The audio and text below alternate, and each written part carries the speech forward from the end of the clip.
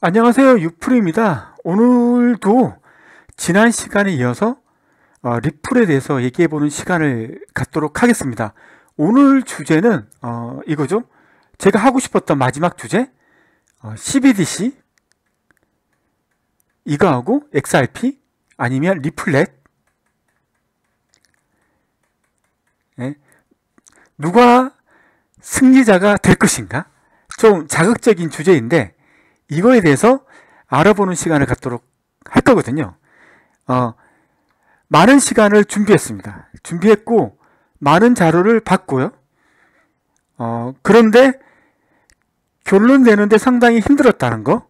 그만큼 CD, 아, CBDC하고 XRP 아니면 리플렛 이걸 비교하는 게 결코 만만한 작업이 아니었다는 거.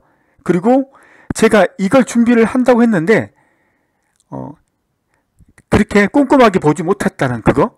그래서 항상 말씀을 드리지만 어, 제가 하는 건 저는 리플의 전문가는 아니거든요. 그리고 리플 이쪽에 보면 전문가들이 상당히 많으세요. 그래서 제가 하는 얘기가 어, 정답은 아닐 거고 단지 제가 바라고 싶은 건 이거죠. 제가 열심히 준비했다는 건 어, 저도 열심히 준비했어요. 그렇지만 음, 제 의견을 듣고 어, 그냥 참조를 하시면 되는 거지 이걸 가지고 어, 너무 맹신하지는 말아달라는 거죠. 그리고 제가 했던 말 중에 틀린 말도 분명히 많이 들어가 있을 거란 말이에요. 그럼 제가 틀렸던 게 있, 다면 그게 이제 발견하는 사람도 있잖아요. 그런 분들은 어, 제 댓글에 남겨주세요. 그러면 저도 이제 제 실력이 조금 더 그 댓글을 보면서 조금 더 어, 높아지는 걸 느낄 수 있으니까 아, 주 서로 윈윈 할 수 있을 것 같아요. 예, 그래서 그런 부탁을 드리고 다시 한번 말씀드리지만 저는 리플 전문가가 아니에요. 예, 한 번만 더 말씀드렸고요. 어, 그럼에도 불구하고 열심히 준비했습니다. 예, 서두는 이렇게 끝내고 오늘 제가 여러분들한테 제가 준비한 어, 프리젠테이션을 어, 얘기할 건데 오늘 어떤 주제를 가지고 얘기할 건지 한번 먼저 소개하는 시간을 가질게요. 첫 번째는 어, 한국은행 제가 한국은행에서 어, CBDC에 대해서 많은 발표자를 내셨거든요. 그, 그 문서들을 많이 보고 참조를 했어요. 그래서 여기에 보시면 알지만 첫 번째 중앙은행 디지털 CB 화폐의 정의가 뭔지 그리고 디지털 화폐의 종류가 뭔지 이거에 대해서 한번 얘기할 거고 그 다음에 두 번째로는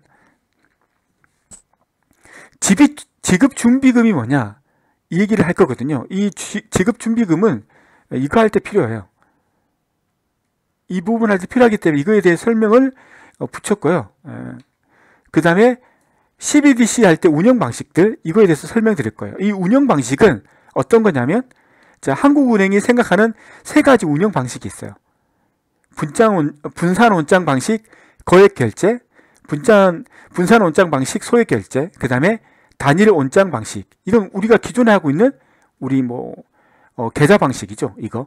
그래서 이건 아닐 거예요. 왜냐하면 이건 이미 하고 있던 거고 이것도 이미 하고 있는 거예요. 그래서 우리가 중점적으로 봐야 될 게 뭐냐? 분산 원장을 할 건데 거액으로 할 것이냐, 소액으로 할 것이냐. 이거에 대해서 우리가 얘기를 할 거란 말이에요. 그거에 대해서 이제 그 운영 방식에 대해서 제가 얘기를 할 거고요. 예.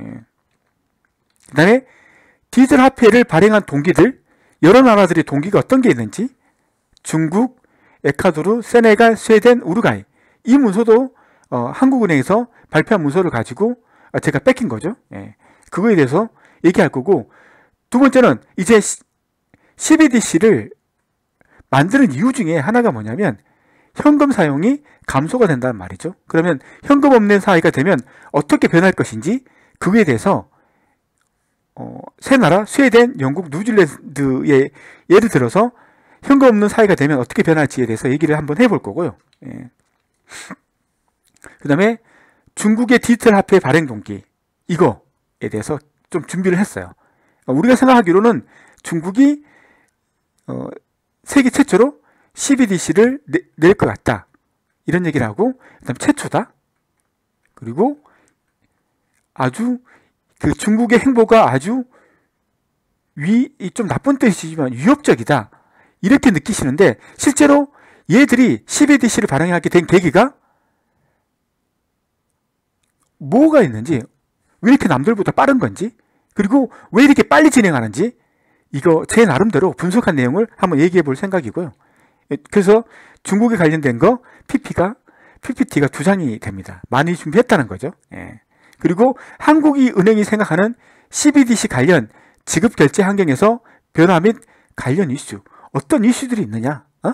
이거에 대해서 한번 얘기해 볼 거고 그 다음에 중앙은행이 왜 CBDC를 발행하는지 한 번 더 여러분들한테 각인시키는 거 왜 이렇게 준비를 하고 있는지 얘기할 거고 그 다음에 한국은행이 CBDC 연구 추진을 하고 있는데 지금 어떤 단계다? 업무 프로세스 분석 및 외부 컨설팅 지금 뭐 한다? 분석 단계다 이 분석 단계가 끝나면 뭐 한다? 자 설계 이겠죠 설계하고 구현 소프트웨어 구현해야 될 거 아니에요 소프트웨어 예, CBDC는 뭐다? 소프트웨어다 예, 이거 구현해야 될 거고 테스트해야 될 거고 그래서 내년 2021년도부터 준비할 거다 이런 얘기 할 거고 그 다음 마지막으로 이제 결론이죠. 이제 여기서부터 이제 결론이 들어가는 거죠. 자, CBDC가 정말 대단한 녀석인가? 이 대단한 녀석 때문에 XRP 또는 리플넷이 망할 것인가? 뭐 이렇게 너무 자극적인 얘기인데 뭐 그런 거 이제부터 이제 썰을 푸는 거죠. 이제 결론을 얘기하는 거죠. 제가 앞에 쭉쭉쭉 분석하면서 얘기하면서 이런저런 얘기 할 거란 말이에요. 두 번째, CLS 외환 동시 결제 시스템이 있는데 이것들의 문제점. 그럼 이 문제점이 CBDC가 발행이 되면 이 문제점이 없어질 것인가? 이런 얘기죠. 그러니까 기본적으로 legacy, legacy 시스템들 있잖아요. legacy. 이게 전통적인 시스템들, 지금 우리 한국에 구축되어 있는 지불 결제 시스템들, 미국에 세팅되어 있는 지불 결제 시스템들, 시스템이라고 하면 컴퓨터들이죠. 소프트웨어들. 이게 얼마나 막강한가. 이런 걸 얘기하는 거죠. 그러니까 CBDC 하나가 나오면 모든 문제가 해결되는지 이 관점에 대해서 한번 짤을 풀어볼 거고요. 그리고 여러분들이 생각하는 아니면 어떤 일부가 생각하는 CBDC가 나오면 이렇게 바뀔 것이다 라고 오해하는 그런 얘기들. 왜 그게 오해일 수밖에 없는지 하나씩 한번 풀어보는 그런 시간을 한번 가져볼 거고요. 이것도 그거예요. CBDC에 대한 잘못된 생각. 지금 제가 어떤 식으로 지금 전화할 것인지 아시겠죠? CBDC가 세계 최강인가? 이게 나오면 모든 문제를 해결할 수 있는가? 그렇지 않다는 반론을 제기하고 있는 거죠, 지금. 예. 이것도 반론이고, 이것도 반론이에요. 그리고 이제 마지막으로 XRP. 리플 넷은 막강하다. XRP 이용하는 ODL 서비스도 막강하다. 하지만 가, 가, XRP의 가격은 올라가지 않는다. 기술력은 뛰어난다. 기술력은 뛰어난데 가격은 올라가지 않는다. 왜 그런가? 왜냐하면 리플넷이 도전하고 있는 시장은 상당히 막강한 세력들이 포진한 막강한 금융 세력들이 포진한 어, 그런 곳이죠. 예, 죄송합니다. 아, 간지러워서 지금 귀 좀 좀 간지럽거든요. 이 막강한 세력들을 리플넷이 어떻게 설득할 것인가? 어떻게 협업할 것인가? 그래서 이 뛰어난 기술력을 이 막강한 세력이 어, 채, 체득? 아니 체득할 수 있도록? 아니 채택할 수 있도록 어떻게 리, 그 리플이 어떻게 할 것인가? 이런 문제. 기술력은 좋지만 가격이 올라가지 않는다. 그건 다른 문제가 있다. 그 문제를 어떻게 해결할 것인가? 이런 얘기로 이제 제 마지막 짤을 풀어보려고 하거든요. 네, 이게 마지막이죠 자 이제, 준비한 순서대로 하겠습니다 오늘도 아주 긴 시간이 될지 모르겠어요 그렇지만 저 열심히 준비했으니까 한번 어, 들어봐 주시길 바라겠습니다 자 음. 중앙은행 디지털 화폐 CBDC 정의 이걸 알아야 되는 거죠. 자, 디지털 화폐의 종류는 상당히 많아요. 근데 우리가 관심을 가져야 될 게 뭐다? 중앙은행이 발행한 CBDC는 센트럴뱅크잖아요. 중앙은행이 발행한 거. 그러면 우리가 관심을 가져야 될 게 네 개 있다. 이거 지준 결제성 예금, 그 다음에 분산 원장 방식 두 개, 그리고 분산 온장 방식이 아닌 단일 온장. 이거 뭐예요? 우리가 지금 쓰고 있는 계좌 방식. 우리 다 계좌 다 가지고 계시잖아요. 그래서 이 방식은 우리가 검토하지 않, 않아도 된다. 이 방식은 지금 쓰고 있는 방식인데 이거 안 쓰려고 지금 분장 온상 온장 방식 아니 이거 이것도 쓸 건데 이것도 쓰고 이것도 쓸 거예요. 맞죠? 계좌 방식도 우리는 현금이 없어지지 않을 거, 거기 때문에 계좌 계좌 방식도 쭉 나갈 거고 그 다음에 토큰 방식 우리가 알고 있는 토큰 이것도 분산 원장 방식으로 토큰이 생길 거고 이런 개념이잖아요. 네. 이두 개가 계속 쭉 나갈 것이다. 언제까지? 현금이 사라질 때까지. 현금이 사라지면 이게 없어지겠죠. 그때 그때 없어지겠죠. 네. 자, 그 다음에 중앙은행이 지급준비금하고 결제성 예금 이 관련된 거. 이 부분은 이미 우리가 구축이 완료됐어요. 분산 원장으로 하지 않아도 이미 이건 우리나라 IT 기술이 뛰어나잖아요. 이미 이건 전산화가 다 끝내서 분산 원장보다 더 빠르게 처리가 되고 있어요. 그러면 이 부분이 어느, 어느 부분이냐? 이 중앙은행이 있고, 그 다음에 이게 있죠. 중앙은행이 있고, 금융기관도 엄청나게 많잖아요. 우리나라. 그 다음에 중개기관들. 얘들이, 얘들이 하고 연결되어 있는 네트워크. 이 네트워크가 중앙은행 지, 지급 준비금, 결제성 예금을 담당하는 시스템인데, 이 시스템은 뭐하다? 완벽하게 구축되어 있다. 어? 어떤 부분은 지급 준비금하고 결제성 예금 이 두 두 개를 처리하는 부분들은 이미 끝나 있다. 그래서 이건 분산원장을 적용하지 않을 것이다. 제 말이 아니고 중앙은행 관계자가 그렇게 얘기한 거예요. 예. 그래서 우리가 관심을 가져야 될 게 지급준비금하고 결제성 예금이 아닌 다른 파트 모든 것들은 분산원장 방식으로 구현될 것이다. 그리고 분산원장 방식은 거액결제용과 소액결제용 두 개가 있다. 그래서 우리가 알아야 될 거, 이번 시간에 알아야 될 게 거액 결제용이 뭔지 소액 결제용이 뭔지 이걸 알면 되는 거죠. 네. 자 그래서 중앙은행이 지급준비금, 결제성 예금, 지급준비금이 뭐냐는 다음 페이지에서 설명드릴 거고 이건 디지털 형태로 돼 있기 때문에 이 부분은 고칠 생각이 없다 이렇게 아는 거고 자 두 번째는 이건 단일 원장 방식은 기존 계좌 방식이에요 이거 그래서 이건 그냥 쭉 지금 이미 구축되어 있기 때문에 이건 그냥 쓰는 거예요. 예, 예, 쓰는 거고 그 다음에 분산 원장 방식 이게 이제 우리가 CBDC가 들어갈 분야죠. 그래서 두 개가 있죠. 거액 결제용과 소액 결제용. 그거는 크다는 거잖아요. 자, 직접 운영한다는 거죠. 누가? 국가가. 국가는 뭐다? 중앙은행이. 이게 뭐다?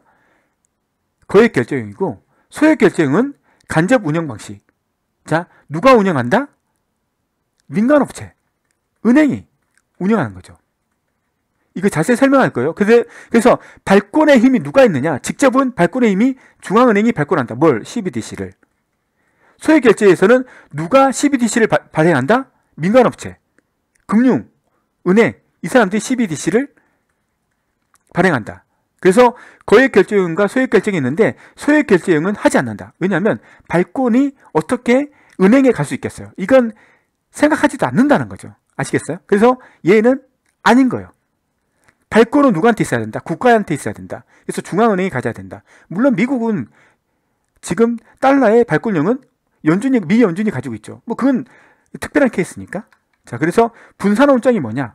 자, 그래서 은행에도 장부가 생길 거고, 금융기관마다 장부가 생길 거고, 중개기관마다 장부가 생길 건데, 이 장부들이 다 원장을 공유한다는 거죠. 중앙은행의 이 원장이 여기에도 복사가 되고 그 다음에 중개기관의 이 원장도 여기에 중앙은행이 가지고 있는 거고 서로가 서로, 서로의 원장들을 다 가지고 있는 거예요. 이게 분산 원장이잖아요. 그래서 중앙은행이 뭐 한다? 해커의 공격을 당해서 무너진다 하더라도 금융기관과 중개기관들이 중앙은행의 그 원장을 가지고 있기 때문에 그 서비스를 할 수 있다는 거죠. 이런 개념으로 분산 원장을 하는 거잖아요. 만약 이런 개념이 아닌 이런 이런 이런 개념이 아닌 눈 가리고 아웅식으로 만약 분산 원장을 했다고 한다면 이건 잘못된 거죠. 네? 맞죠? 네. 그렇게 하시면 안 되는 거예요. 그래서 소액 결정은 개인 고객의 CBDC를 금융기관, 지급 결제 서비스 제공업자 등이 관리하도록 하는 방식. 그래서 이 방식은 하지 않을 것이다. 라는 걸 아셔야 되는 거죠. 자, 거액 결제용으로 할 것이냐? 보시면 알겠지만, 그러면 중앙은행이 직접 한다는 건데, 그러면 은행들은 할 역할이 없어요. 그러면 은행들은 다 망해야 되는 거예요. 은행들 망하고, 중개기관 다 망하고, 중앙은행에, 그럼 여기서 일하던 분을 중앙은행에서 다 채용을 해야 돼요. 왜냐면, 우리 국민 5천만 명을 커버하기 위해서는 엄청난 사람들이 중앙은행에 취업을 해야 된다는 거죠. 그래서 거액 결제용으로도 하지 않겠죠. 네. 그래서 이 두 가지를 합친 하이브리드 형태로 간다. 우리나라는 그리고 많은 다른 나라 중앙은행도 하이브리드 방식을 한다. 그 다음 장에서 설명할 거예요. 그 다음 장에서 자 지급준비금 이거에 대해서 설명드린 거예요. 이거 지급준비금 이게 뭐냐 이거죠. 예. 알고 계시겠지만 그래도 하는 거죠. 여러분도 아시겠지만 중앙은행에 계좌들이 있어요. 각 은행들의 계좌. A은행은 중앙은행에 A은행 계좌가 있고 B은행은 B은행 계좌가 있어요. 이 계좌가 있는 이유는 이거예요. 지급준비금을 예치하기 위해서요. 자, 이걸 보시죠. 국가가 화폐를 발행해서 100원을 발행했어요. 이 발행한 100원을 A은행에 줬죠. 그러면 지급준비금이 10%다. 그러면 A은행은 10%인 10원을 어디에? 자기 계좌에, 중앙은행 자기 계좌에 예치를 해야 된다는 거죠. 10원을. 자, 그러면 100원 빼기 10원이니까 90원 남았죠? 이 90원을 B은행에 뭐 한다? 대출을 해줄 수 있어요.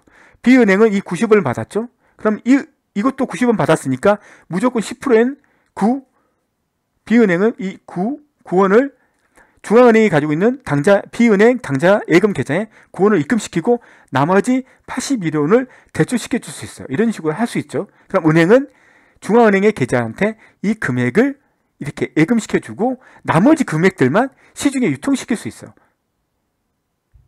자, 지급 준비금이 뭐냐? 은행이 빌려줄 수 없는 돈이에요.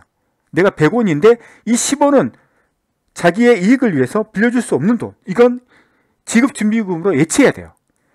왜냐하면 고객의 인출 요구에 대비해서 보유하고 있는 돈이요. 그러니까 어떤 사람들이 어떤 예금 은행에서 어떤 돈을 이론을 찾고 싶어.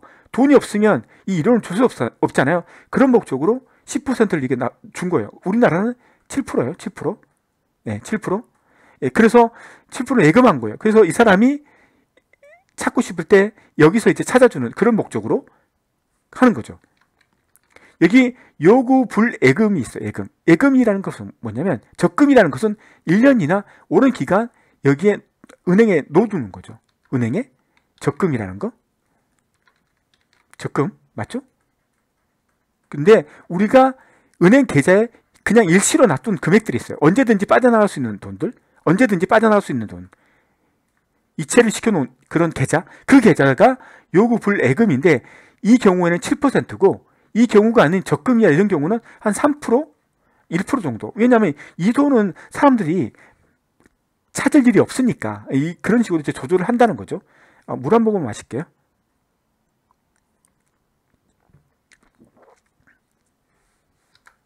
그래서 국가는 이 지급 준비금을 높였다, 낮췄다 해서 뭐 7%를 아니 10%를 했다가 5%를 했다가 이렇게 하면서 할 수 있는 게 시중에 풀린 돈을 해소하거나 푸는 데 써요. 그래서 지급 준비율을 높이면 만약 7%에서 10% 높이면 시중의 돈이 돈의 양이 줄어들게 돼요. 그래서 대출이 축소되게 돼서 사람들의 그걸 옥죄는 거죠. 예. 그런 역적으로 쓰는 거죠. 우리나라에서 최고치는 27%까지 올라간 적이 있었어요. 예. 돈을 그냥 시중에서 은행으로 빨아들이는 거죠. 중앙은행으로. 엄청나게 많이 풀렸나 봐요. 자, 콜 금리가 있죠. 자, 지급 준비금. 우리가 이런 게 있어요. 지급 준비금을 계산할 때 한 달을 보는 거죠. 한 달. 은행이 A은행이 자기가 아, 만약 10억을 지급 준비금으로 놔둬야 돼요. 여기 여기에 넣어야 되는데 한 달 동안 이렇게 10일 동안 10일 동안 이게 10일 10일 10일 10일 간격이 30일이잖아요. 이때 뭐 7%라면 만약 7억이 100억인데 7억이라고 하면 7억 이렇게 7억 이렇게 7억을 남겨둬야 돼요. 이렇게 남겨도 되는 거고, 어? 한 달인데 어떻게 나, 남겨도 된다? 10일 동안에 20일 동안에는 영혼으로 가지고 있다가 마지막 10일 동안 아니면 마지막 하루에 얼마를 뭐 한 7억 마지막 뭐 7억을 놔둬도 되는 거예요. 이렇게 어떻게 하신지 알겠죠? 한 달에 마지막 요일에 7억을 줘야 돼 남겨둘 수 있다, 있다고요. 그러니까 한 달 내내 365일 내내 이 7억을 놔두, 놔두지 않아도 돼요. 근데 은행이 막 이걸 악용해서 막 쓰다가 마지막 하루에 자기가 7억을 넣어야 되는데 돈이 없는 거예요. 돈이. 넣을 돈이 없는 거야. 너무 많이 대출해줘서. 그럴 때 은행이 다른 은행한테 콜하는 거죠. 콜? 호출하는 거죠. 그래서 어떻게 한다? 7억만 땡겨줘. 오늘 하루만. 하루만 빌려줘. 그래서 콜하는 거죠. 그래서 그게 콜금리예요. 콜금리. 그래서 금융기관끼리 하루 이틀 초단기로 급전했을 때 적용되는 금리예요. 다 알고 계시겠지만 넘어갈게요. 자, 운영 방식이에요. 직접 운영 방식. 거액이죠. 아까 분산 원장, 거액, 거액 결제용. 이게 직접 운영이죠. 간접 운영이 뭐예요? 분산 원장, 소액이죠. 자, 거액이면 직접 운영. 중앙은행이 CBDC를 발행해요. 발권력은 중앙은행이 가지고 있는 거예요. 그 다음에 중앙은행이 직접 운영하니까 소액 결제. 그러니까 국민들을 상대로 돈을 주고받는 이 행위까지도 중앙은행이 담당하고 KYC, Know Your Customer 이거죠. client, customer 또는 client. 거래소 플랫폼의 투명한 관리 및 유지를 위해 진행되는 본인 인증 절차예요. 계좌를 만든 국민에 대해서 이 국민이 우리 국민이 맞는지 성실한 우리 국민이 맞는지 확인하는 절차. 그게 KYC, Know Your Client, Know Your Customer. 그래서 고객은 계정을 개설하기 위해서 신분증, 주소지 증명, 이메일 주소, 전화번호, 직업, 주요 수입원, 범죄 유무 등을 확인할 수 있는 서류를 제출해서 아, 이 사람은 이 계좌를 통해서 거래할 수 있는 사람이다 라는 것을 확인 받아야 돼요. 그런 사람들만 거래해야 되고 그런 사람들만 어, 어떤 그 해야 되는 거예요. 예, 그게 KYC예요. 예. 이것도 중앙은행이 하는 거예요. 그러면 민간은행이 KYC만 담당하는데 이 경우 민간은행은 할 일이 없기 때문에 은행들 그 다음에 환거래 관련된 은행들 뭐 이런 거 페이 업체들 이런 것 업체들 다 망하는 거죠. 줄줄이 필요 없는 거죠. 중앙은행이 모든 걸 담당하는 거죠. 은행 기능까지. 그러면 은행에 있는 사람들은 다 공무원이 돼야 되는 거죠. 물론 많은 사람들이 그만두겠지만 그리고 많은 사람들은 공무원이 돼야 되는 거죠. 이런 구조는 누구도 원하지 않는 구조는 거죠. 그래서 직접 운영 방식은 노, 간접 운영 방식. 중앙은행은 거액 결제하는 거예요. 어디? 기업과 기업, 국가와 국가 간에 이 거액 결제만 담당하고 민간 기업이 CBDC를 발행해서 소액 국민들한테 CBDC를 발행하는 거죠. 발권력이 누가 있다? 민간 기관에 있다. 이건 있을 수 없는 일이죠. 어? 돈을 발권한 발행하는데 그게 민간이 발권해. 이건 우리나라에서 어? 절대로 어? 할 수 없는 행위죠. 그래서 얘도 음? 필요 없는 거예요. 예. 안 하는 거예요. 왜냐하면 민간은행이 CBDC를 발행하면 중앙은행이 대체 뭘 먹고 살아야 되는 거죠? 중앙은행이. 이 중앙이 필요 없는 거잖아요. 이렇게 돼버리면. 그래서 이것도 안 해요. 그래서 모든 많은 업체, 많은 국가들이 뭐하다 혼합형. 그래서 중앙은행이 발권력을 가지고 있고 민간기관이 소액 지급, 국민들을 상대하는 거죠. 이런 식으로. 그리고 중, 국민들 상하면서 KYC를 검증하는 거죠. 그러니까 이 국민들한테 계좌를 발급해주고 너는 이상한 애다 계좌 발급 안 해주고 이런 행위. 이게 CBD가 생, 생긴다 하더라도 계좌를 그러니까 토큰을 발행할 것인지 아니면 우리는 이제 계좌가 아니죠. CBDC는 뭐라고 해야 돼요? 어, 뭐, 뭐라고 지갑이라 하죠. 올렛이라고 하는 거죠. 이 지갑을 생생하게 해줄 수 있는 고, 권한은 누가 가지고 있다? 민간기관이 가지고 있는 거죠. 이렇게 음, 이렇게 하시면 되는 거죠. 혼합형으로 간다. 그래서 제공 서비스 그래서 우리는 거액 그 분산원장 거액 소액 이거 몰라도 된다. 이거 두 개를 하이브리드 한 거다. 이렇게 하면 되는 거고. 자, 이제 어떻게 제공 서비스는 어떻게 CBDC의 제공 서비스는 뭐가 될 것인가? 소액 지급 서비스가 되겠죠. 기본적으로. CBDC는 이걸 담당하진 않아요. 자, 중앙은행이 하는 지급 준비금, 결제성 예금, 은행들하고 하는 결제성 예금, 예금들을 중앙은행이 보관하는 거, 이런 것들은 CBDC가 담당하지 않아요. 그리고 지금 현재 잘 돌아가고 있는 계좌, 이것도 CBDC가 담당하지 않고 얘도 따라 도는 거예요. 지금 시스템이 도는 거고 얘들만 혼합형으로 돼서 따로 시스템이 구축되는 거예요. 이 사업을 지금 2021년부터 하겠다는 거잖아요. 구축해 나가겠다. 이 사업들을. 그럼 이 사업들이 대체 어떤 게 있을 거냐? 뭐 이런 거죠. 송금, 자금이체, 현금과의 교환, 예금과의 교환, 상거래 대금 결제, 오프라인 결제 기능 이런 것들, 나머지 기능들. 그리고 국가 간 지급 서비스. 제가 이것 때문에 분석하는 거죠. 이게 리플, 국가 간 지급 서비스. 자, 비거주자에게도 CBDC 보유 및 거래를 허용할 것이냐? 비거주자 뭐예요? 미국에 살고 계신 제 동포 여러분. 이분들한테도 우리나라의 그 올렛을 만들면 올렛을 이분들한테도 줄 것이냐? 어? 우리나라인데 이분들은 미국에 있는데 이분들한테 주면 이분들이 우리, 외국에서 올렛을 들어올 수 있는 그 통로를 마련해 줘야 되는데 이게 말이 치우냐 이거죠. 여기에 허점이 생겨버리면 구멍이 뚫려버리면 어, 뭐 다른 부작용이 많이 생기는 거죠. 그, 그러면 CBDC 시스템을 연계해야 되는 어, 연계해야 되고 그럼 돈이 많이 드는 거고 그리고 거래 당사자 당사자가 직접 거래가 가능한가? 직접 거래? 무슨 말인지 아시죠? 우리가 어? 내, 내 올렛에서 비트코인을 다른 비트코인 올렛으로 자유스럽게 이체할 수 있죠. 내가 주고 싶으면 주는 거고 할 수 있잖아요. 자유. 이런 식으로 CBDC도 이렇게 할 것인가? 라는 고민? 근데 미리 결론부터 말씀드리면 이렇게 안 할 거라. 절대로 이렇게 안 한다. 어? 암호화폐처럼 이렇게 아무 제약 없이 개인 대 개인 간에 중앙은행 없이 디센트럴라이즈하게 이렇게 토큰을 주고받는다? CBDC를 주고받는다? 이거 용납하지 않을 거다. 라는 얘기를 할 거예요. 앞, 뒤에도. 자, 그래서 말씀드리고 싶으면 CBDC가 암호화폐보다 더 편리한가? 편리한, 편리성이 있는가? 그 다음에 상호 호환성이 큰가? 이런 질문을 여기서 할 수 있죠. 이걸 보고. 여러분들 봤, 봤을 때 어떨 것 같아요? CBDC는 자유로운 영혼인가요? 암호화폐에 비해서? 절대 그렇지 않다. 국가가 통제하는 화폐다. 이것만 보더라도 제가 어떤 결론을 도출할지 생각하셔야 되는 거예요. 암호화폐가 아니다. 암호화폐를 견제하기 위해서 CBDC를 만든 거다. 아시죠? CBDC를 만든 게 암호화폐를 견제할 목적으로도 CBDC를 만든 거고 현금이 없는 사회를 만 현금이 없는 사회가 곧 올 건데 그 목적으로도 CBDC를 만들었는데 우리 한국은 현금 사용량이 상당히 많거든요.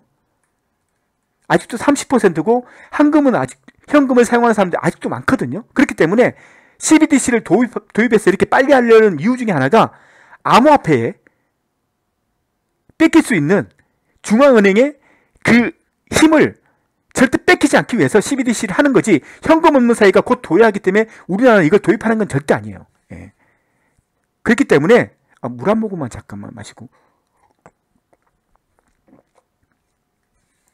그래서 암호화폐보다는 얘가 운영의 폭은 상당히 좁다.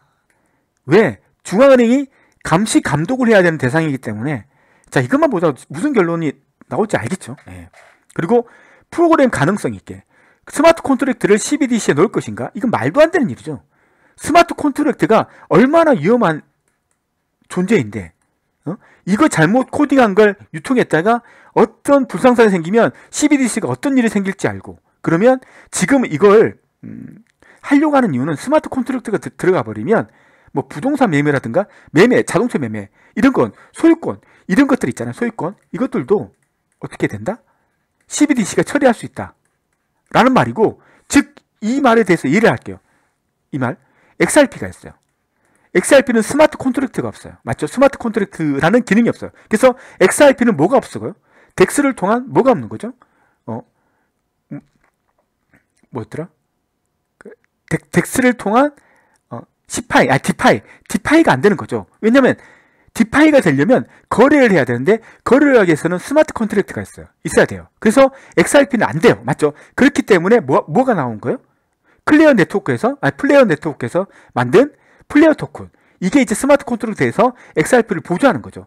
XRP가 왜 smart contract를 넣지 않았는데요. 이분들이 실력이 없어서 개나 소나 다 집어넣는 smart contract를 XRP에 안 집어넣는 거예요. 이걸 집어넣게 되면 XRP가 위험하니까 그런 거예요. 왜 위험한 거예요? 이 smart contract 잘못해버리면 어떤 일이 생겼죠? 어떤 대사, 대가 smart contract를 만들었는데 얘가 운영이 됐는데 이 smart contract를 통해서 묶인 돈을 찾을 수 있는 방법이 없는 경우도 생겼어요. smart contract를 엉터리를 만든 거예요. 그러니까 허점 있게 만들어서 내가 이 smart contract에 100BTC를 묶였는데 그리고 이 smart contract가 완료되기 위해서 누군가 이 거래를 체결, 체결해야 되는데 거래가 체결됐는데 100BTC가 입금해야 될 wallet으로 입금이 안 되고 묶여버린 거예요. 영영 못 찾는 돈이 돼버린 거예요. smart contract가 프로그램이고 프로그램은 누구나 만들 수 있기 때문에 만드는 사람이 실력이 엄청나게 좋은 사람일 수도 있고 엄청나게 나쁜 중학생일 수도 있는 거예요. 중학생이 만든 걸 가지고 만약 smart contract를 했는데 이게 CBDC가 이것 때문에 정상 동작을 안 해. 그럼 CBDC가 어떻게 되는 거죠? 위엄이 떨어지는 거죠. 그래서 smart contract를 지금 당장은 하지 않을 거예요. 근데 smart contract를 해야 돼요. 하지 않으면 어떻게 된다? 부동산 매매, 자동 뭐 이런 거 할 때, 건물 매매할 때 이 자동적으로 이루어지지 않을 거고 자동적으로 이루어지지 않으면 또 이게 음성화 될 음성으로 숨을 확률이 있기 때문에 뭐 음성으로 숨는 게 아니고 뭐 그렇기 때문에 언젠간 하지만 지금 당장 초기에 도입할 문제는 아니다. 한 이건 도입되더라도 5년이나 10년 후에 아주 오랜 후에 도입될 문제이다. 라는 걸 얘기하는 거죠. 그 다음에 이거죠. 국가는 돈의 출처를 감시해야 돼요. 그래서 KYC, 그래서 커스터머를 감시해야 되고, 그 다음에 AM을 통해서 감시를 해야 돼요. 어떤 거? 자금 세탁 방지. 금융회사가 자금 세탁 활동의 위협을 인식하고 보고할 수 있는 절차와 법. 이걸 구축을 해야 돼요. 그래서 KYC, AML이 거래소에서 무조건 세팅해야 되는 어떤 거잖아요. 이걸 안 돼버리면 국가에서 이 거래소에 뭐 어, 거래할 수 있도록 해줄 수 있는 그걸 주지 않기 때문에 AM 같은 걸 해야 돼요. 자금 세탁 방지. 우리가 북한에 돈을 넣지 못하는 이유는 뭐예요? 자금 세탁 방지 또는 탈, 금융 테러 활동, 탈세 테러 조직 지원 이거 못하도록 AML 통해서 묶고 있는 거잖아요. 그래서 은행들에서 AML을 가동하고 있는 거고 어떤 계좌에서 북한 계좌로 돈을 이체하는 순간 이체를 막아버리죠. 뭐예요? AML 이거 이거 이게 시스템 구축돼서 이게 자동적으로 막는 거잖아요. 네? 이런 것들. 그렇기 때문에 국가는 KYC, AM을 해야 되기 때문에 CBDC를 밀접하게 감시하고 관리하고 감독해야 돼요. 얘는 절대로 암호화폐가 아니에요. 그래서 CBDC가 나오면 암호화폐처럼 생각한다는 것은 상당한 위험을, 위험을 가지고 있는 거예요. 암호화폐가 되니까 CBDC도 된다? 이런 단순한 생각은 아주 위험한 결론을 가져올 수가 있어요. 예. 자, 디지털 화폐 발행 동계요. 자, 중국은 민간 독점 방지. 이거 있었죠? 뭐야? 알리페이? 알리페이 같은 거라든가? 뭐, 위, 위페이인가? 아, 모르겠어요. 알리페이? 위, 위페이? 위챗페이? 위챗페이든가? 위챗? 이거 위챗페이? 알리페이? 얘들 독점 방지하기 위해서. 맞죠? 그 다음에 운영 리스크. 대비하는 거죠. 운영 리스크. 그 다음에 화폐 제조, 유통 비용 절감. 화폐. 중국에서 화폐가 지금 사람들이 사용하지 않죠? 이게 암호화폐 때문에 사용하지 않는 거예요. 중국이 지금 화폐를 자기 나라 자국 화폐를 잘 사용하지 않아요. 예? QR 코드를 쓰지. 이 이유가 뭔지 생각해 보셨어요? 암호화폐 때문에 화폐를 쓰지 않는 거예요? 아니면 위챗페이가 너무 좋아서 화폐를 쓰지 않는 거예요? 절대 그렇지 않아요. 왜냐하면 위조 지폐가 엄청나게 많아서 사용하지 않는 거예요. 중국은. 오해를 하시기 마시, 마시기 말아요. 중국이 이렇게 인터넷을 통해서 아니면 핸드폰을 통해서 QR코드를 통해서 모든 거래가 한다고 하잖아요. 요즘에는 그냥 사람이 핸드폰 없이 자기 얼굴만 들이밀어도 결제가 된다고 하잖아요. 이렇게 된 게 중국이 성견지명이 있어서 그렇게 만든 거예요? 아니에요. 히스토리가 있는 거예요. 중국이 위조지폐의 범위 너무 많아가지고 사람들이 화폐를 신용을 못 하는 거예요. 화폐를 나한테 어떤 고객이 나한테 커피를 사고 화폐를 줬는데 그걸 받기가 겁나는 거예요. 왜냐하면 유조지폐인지 알고. 그럼 그 화폐를 받으면 그 화폐 지, 화폐를 받은 직원이 그게 유조지폐인지 판별할 수 있는 기계를 가지고 판별을 한대요. 그 정도로 유조지폐가 많은 나라가 중국이에요. 그래서 사람들은 화폐를 받기 싫어서 QR코드를 받는 거예요. 화폐 안 받고 QR코드는 우리가 뭐예요? 전산으로 왔다 갔다 하는 거잖아요. 그럼 유조화폐를 받을 이유, 이유가 없는 거죠. 전산적으로 왔다 갔다 하는 게. 이렇게 된 게. 이게 CBDC가 나오기 훨씬 전부터 이렇게 됐었어요. 그리고 중국, 중국이 이걸 통해서 지금 CBDC를 세계 최초로 지금 만들어서 지금 활용하려고 하는 거예요. 그러면 이게 중국이 CBDC를 만들려고 이렇게 박차를 가해서 이런 구조를 만든 거예요? 아니면 위조 지퍼뱀이 너무 많다 보니까 화폐를 쓰지 않는 구조가 됐던 거고 이 구조 때문에 알리페이, 위챗페이가 이것들을 QR코드와 묶어서 사용자들이 화폐를 사용하지 않고 국민들이 사용할 수 있는 시스템을 만들어서 이렇게 활성화시켜 놓은 거예요. 맞죠? 근데 중국은 이거에서 한술 더 떠서 CBDC를 세계 최초로 만들려고 해요. 세계 최초로.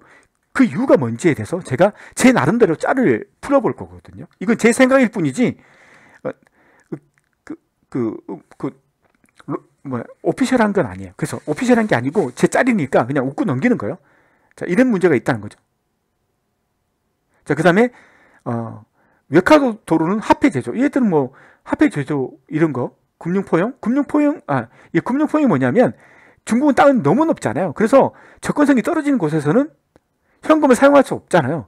그래서 공공재라서 그래서 핸드폰만 있으면 사용할 수 있도록 CBDC를 개발한다 해요. CBDC 개발하지 않아도 지금 상태에서도 핸드폰만 있으면 중국은 다 돼요. CBDC가 없어도 다 된다고요. 근데 왜 얘들이 CBDC를 이렇게 밀고 있는지 CBDC가 없어도 이미 중국은 다 그렇게 된다고요. 근데 그럼에도 불구하고 왜 CBDC를 이렇게 세계 최초로 만들려고 이렇게 열심히 하고 있는지 예? 이, 런 거, 어, 이거죠. 음. 자, 스웨덴 여기는 이제 현금을 사용하는 현금 사용 안 하지 않는데요. 어떤 사람들이 상점에서 현금을 내면 상금 아, 뭐야 현금 안 받는데요. 그래서 법으로 현금 안 받으면 처벌해 달라는 법까지 내고 있는 데가 스웨덴이요. 어? 맞죠? 뭐 이런 데는 어쩔 수 없잖아요. 현금 이용하, 이용하지 않는데 운영 리스크가 있잖아요. 내가 이제 이 사람들한테 돈을 줘야 돼. 그러면 어떻게 줄 거예요? 현금을 현금을 쓰지 않는데. 그러, 그러니까 이거 운영 리스크 때문에 CBDC를 이제 만들 수밖에 없는 시기가 된 거예요. 이런 이런 것들은 운영 현금을 현금 이용이 안 되다 보니까 어쩔 수 없이 이렇게 CBDC를 발행하는 거죠. 이건 뭐 정상적인 수순을 받고 있는 거예요. 그 다음에 스웨덴은 현금을 쓰지 않는 대신에 비자 마스터가 국민들을 다 독점하고 있대요. 그래서 스웨덴은 이게 골치 아픈 거예요. 그래서 비자하고 마스터가 카드 독점하고 있는데 이 시장을 CBDC를 통해서 다 뺏어오고 싶어 하는 거예요. 예? 그런 목적으로 CBDC를 발행하고 있는 거예요. 예. 우루과이는 뭐 화재, 화폐, 금융 포용 뭐 이런 거 금융 포용 같은 것은 우리나라에서는 고민할 필요가 없는 거죠. 아, 뭐 고민할 수 있겠지. 우리나라 땅덩어리 좁더라도 그것도 힘드니까. 예. 뭐 그렇다 그런 게 있다는 거죠. 자, 현금 없는 사회가 되면 어떻게 될 것인지. 현금 없는 사회가 되면 CBDC를 발행해서 컴퓨터를 통해서 사용자 사람들한테 어, 현금 대신에 다 쏴주거나 이거 다 해야 되잖아요. 이제 예? 음, 자 스웨덴, 영국, 뉴질랜드 등은 현금 없는 사회로 이미 진입을 했대요. 그래서 신용카드, 모바일 지급 지급을 통해서 결제되는 게 90%예요. 현금 사용은 10%도 안 된대요. 예? 스웨덴의 경우 현금 결제를 거부하고 있어요. 상점들에서. 자, 보면 스웨덴이 13%, 18년도에 영국 28%, 뉴질랜드 32%. 우리 한국은 19%밖에 안 돼요. 그래도 현금 그래도 쓰고 있는데 그 현금 우리나라 현금 그 뭐 거부하지 않는데 좀 웃긴 나라더니 미국 26%, 일본 48%, 일본 48%, 독일 47, 유로존 53. 참 그렇죠. 아, 예. 그, 그래서 어떻게 바뀌었냐면 스웨덴의 상업은행의 지점수가 많이 감소하고 있어요. 은행이 줄어들고 있다는 거죠. 현금을 안 쓰니까 은행 수가 줄어들고 있어요. 18년에 1777개가 있었는데 지금 18년에 한, 한 뭐야, 한 600개 정도? 500개 정도 줄어들었어요. 현금이 없어지면 은행들이 문을 닫는 건 앞으로 자명한 거예요. 예. 자, 지점수가 스웨덴이 33% 줄어들었대요. 영국 23%, 뉴질랜드 29%, 한국 14% 줄어들고 있어요. 앞으로 점점 더 많이 줄어들겠죠. 그렇지만 은행은 없어지지 않아요. 왜 그렇죠? 우리는 거액, 소액 어, 분산 원장을 취업 하기 때문에 은행을 국가는 항상 은행을 폐지시키지 않을 거예요. 왜냐하면 5천만 명의 국민들을 누가 컨트롤할 거예요? 국가가 할 것이냐, 은행이 할 것이냐, 은행이 할 거라. 그래서 없어지지 않을 것이다. 다만 은행 수는 상당히 줄어들 것을 예측할 수 있는 거죠. ATM 아시죠? ATM 기기 이것도 뭐 21%, 11%, 7점. 한국은 그래, 그나마 많이 그, 래도 현금을 많이 지원해 줘요. 어? 보여? 19%밖에 안 되는데 현금에 대한 지원은 상당히 빵빵해 줘요. 그래서 현금을 우리도 아직도 많이 사용하고 있죠. 그렇지만 20%밖에 안 된다는 거. 자, 그럼 현금 없는 사회가 되면 어떻게 되느냐? 현금이 사라질 경우 대응하기 곤란한 국민들의 수가 상당히 많을 것이다. 어? 영국 성인 130만 명 중 은행 계좌가 없대요. 130만 명이. 뭐 우리나라도 없겠죠. 없는 사람이 막 상당히 많겠죠. 그 다음에 성인 중 430만 명이 문명이래. 디지털 문명. 자기 스스로 핸드폰을 통해서 계좌를 만들 수 있는 능력이 없다는 거예요. 그러면 영국의 경우가 우리한테도 발생하지 않을 거냐는 거죠. 그래서 CBDC가 나오기 전에 우리는 이거에 대해서 상당히 많은 고민을 해야 되는 거예요. 현금이 없어지고 CBDC가 나오면 이런 많은 사람들은 어떻게 커버할 것이냐? 어? 이런 사람들 다 포기할 것이냐? 너희들은 문명이기 때문에 무슨 문명? 디지털 문명이기 때문에 너희들은 사회생활 하지 마. 이렇게 할 것이냐? 아니다. 그렇게 할 수는 없지 않느냐? 그럼 CBDC가 나오기 전에 사회적으로 이런 사람들을 어떻게 도와줄지에 대해서 충분히 노력을 해야 된다는 거죠. 노력을. 예, 이런 필요. 그래서 CBDC는 빨리 나오는 게 좋냐라고 한다면 그건 결코 그렇지 않다. 라는 거죠. 중국이 상당히 빠른 속도로 CBDC를 만들고 있어요. 뭔가 목적이 있겠죠. 목적. 그 목적 중에 많은 사람들은 패권, 무슨 패권? 미국과의 화폐 패권에 그 먼저 고지를 점령하기 위해서 CBDC를 이렇게 빨리 추진한다는 목적을 가지고 있다라고 생각할 수도 있지만 다른 한편에서는 CBDC를 만든 목적이 이거일 수도 있다고 생각하는 사람도 많아요. 이것도 물론 맞지만 왜냐하면 중국이 이제 CBDC를 통해서 CBDC가 아니더라도 이미 중국은 모든 사회를 감시할 수 있는 망을 다 구축했어 이미. CBDC가 아니더라도 이미 구축이 됐고 그게 전산화가 다 끝났어요. 근데 왜 중국은 이미 다 끝났는데 CBDC라는 것을 앞에 전면에 배치할까요? 왜? 이렇게 하다 보면 어떻게 돼요? 국민들의 알 권리? 국민들의 그, 그, 자기의 뭐, 뭐죠? 그 국민들의 자기만의 가지, 가지고 있는 프라이, 프라이버시. 이거. 이것들을 심각하게 침해당하고 있어요.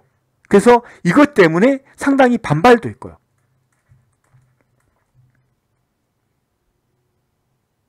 이 반발을 무마시켜야 돼요. 무마시키고 자기들은 뭐? 모든 국민들을 그리고 모든 돈, 모든 국민들을 전부 다 세심하게 관찰할 수 있는 시스템을 구축을 완료시켜야 돼요. CBDC를 통해서 국민들의 눈을 돌릴 수도 있는 거예요. 우리가 CBDC를 통해서 미국이 가지고 있는 패권을 우리는 뺏어오겠다. 그리고 우리가 이때까지 미국한테 서름을 당했는데 이제 우리는 세계 1등으로 나갈 것이다. 라고 CBDC를 통해서 국민들한테 애국심을 고취시키는 거죠. 그러면 반발이 있다 하더라도 이 CBDC의 이 좋은 순기능 때문에 많은 사람들이 자기의 권리를 포기하면서 중국이 CBDC 발행에 열광할 수도 있어. 그래서 CBDC 발행이 CBDC 이렇게 빨리 이렇게 하는 게 이게 암호화폐에서 좋다고 얘기할 수도 있지만 알고 보면 여러 가지 모를 여러 가지 중국에서 그 이용하고 있다는 것은 자명한 거예요. 이거 12DC가 아니더라도 이미 이건 다 돼요. 어? 12DC가 아니더라도 이미 중국은 모든 게 다 전상을 다 됐다니까. 이게 필요가 없다니까요. 그런데도 12DC를 전면에 내세우고 이렇게 빨리 하고 12DC를 2년 후에 동계올림픽 자기 올림픽 할 때 이걸 체득한 이유가 이런 이유도 있다는 거예요. 그래서 중국이 우리가 봤을 때 중국이 이렇게 12DC를 엄청나게 빠른 속도로 이렇게 찍어내는 걸 보고 많은 분들은 놀라워하고 부러워하고 중국이 세계 1등 국가가 될 거라고 치켜 세우고 있어요. 물론 이 말도 맞다고 봐요.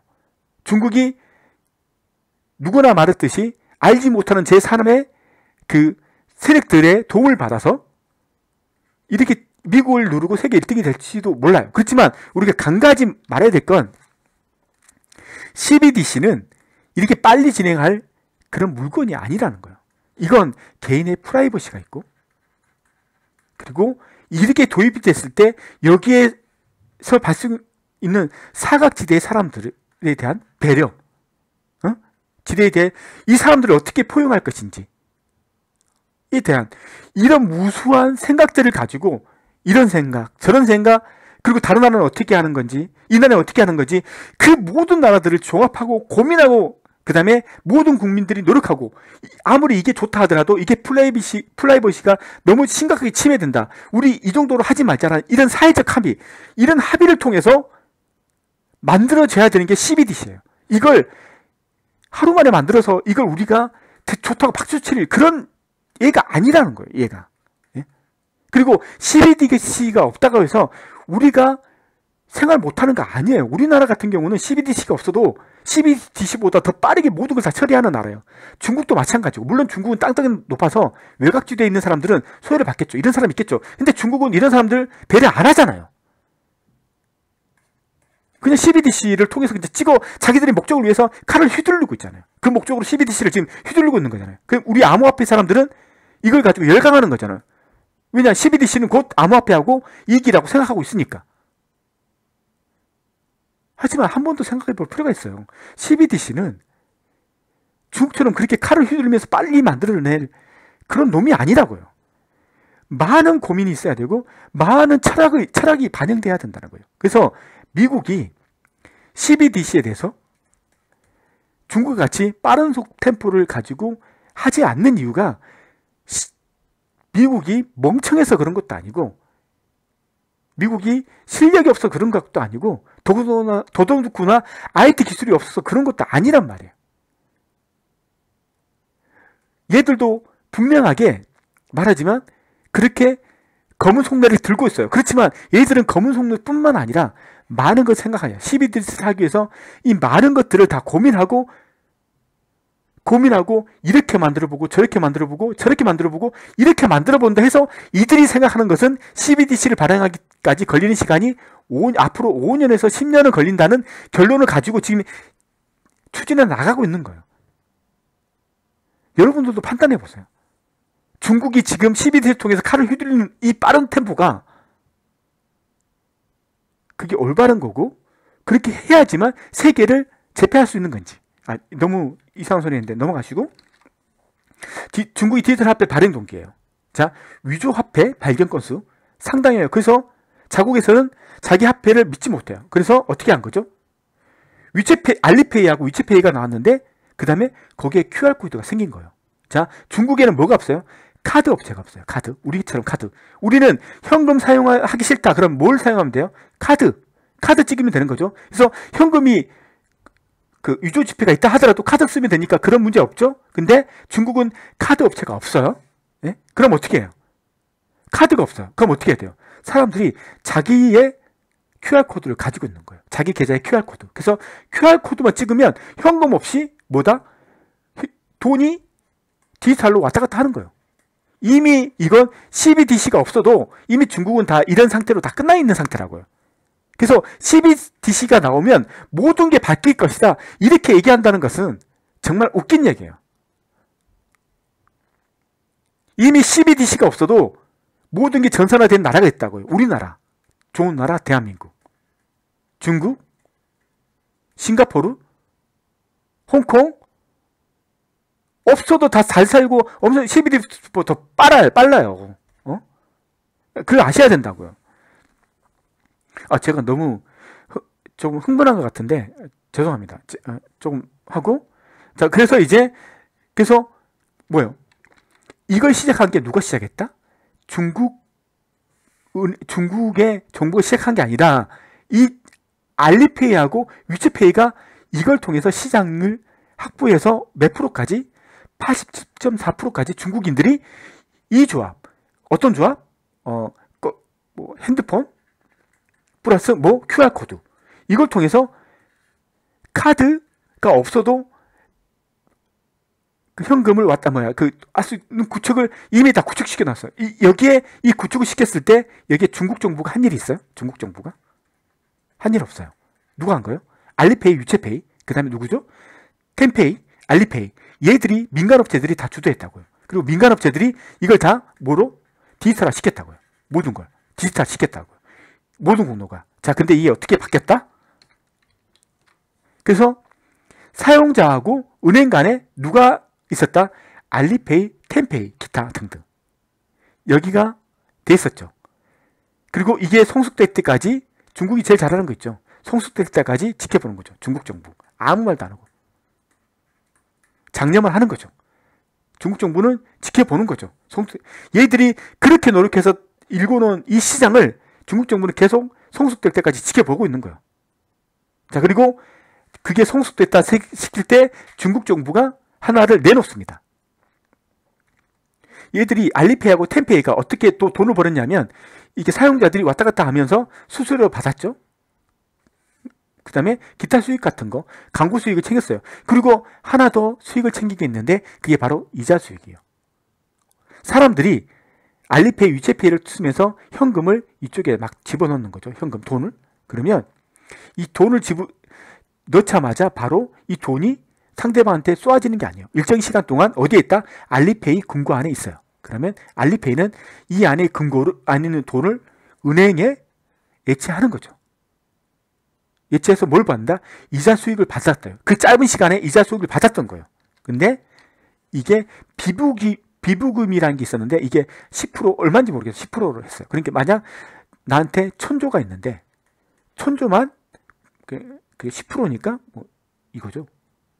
10, 조라고 하죠. 10조만 은행에 있다가 뭐 아까 지급 준비금처럼 은행에 맡기고 나머지 9,990조는 이자놀이 해도 된다라고 했는데 얘들이 이 비비금을 100%로 올려버린 거야. 그러니까 천조가 있으면 이자놀이 하지 말고 이 천조를 다 우리한테 맡기라는 거야. 그러면 이 이자놀이 이자놀이에 대한 이자 수익은 누구한테 가는 거예요? 은행한테 가는 거예요.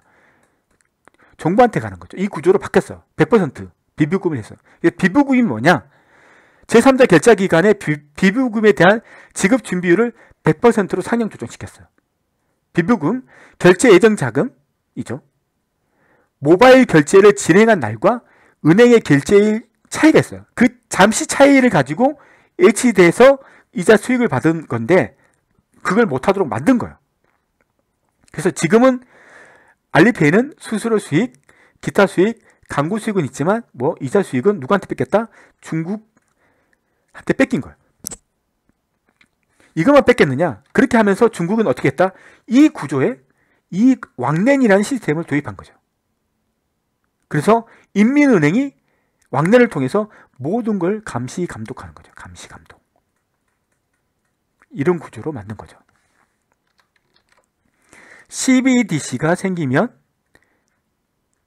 얘도 인민은행의 감독과 감시를 받아야 돼요.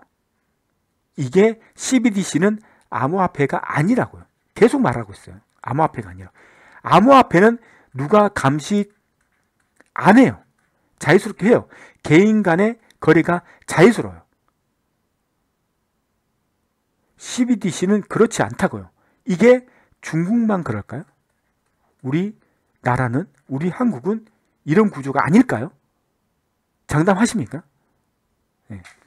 그렇게 해서 중소 결제 플랫폼들이 위축된 거예요. 그러니까 알리페이, 텐페이 같이 큰 업체들은 이거 안 받아도 이걸로 살아남을 수 있었는데 나머지 이거에 큰 이익을 남았던 기타 페이 업체들은 뭐 도산 유치가 되긴 되는 거고 그다음에 은행의 입김이 강화된 거예요.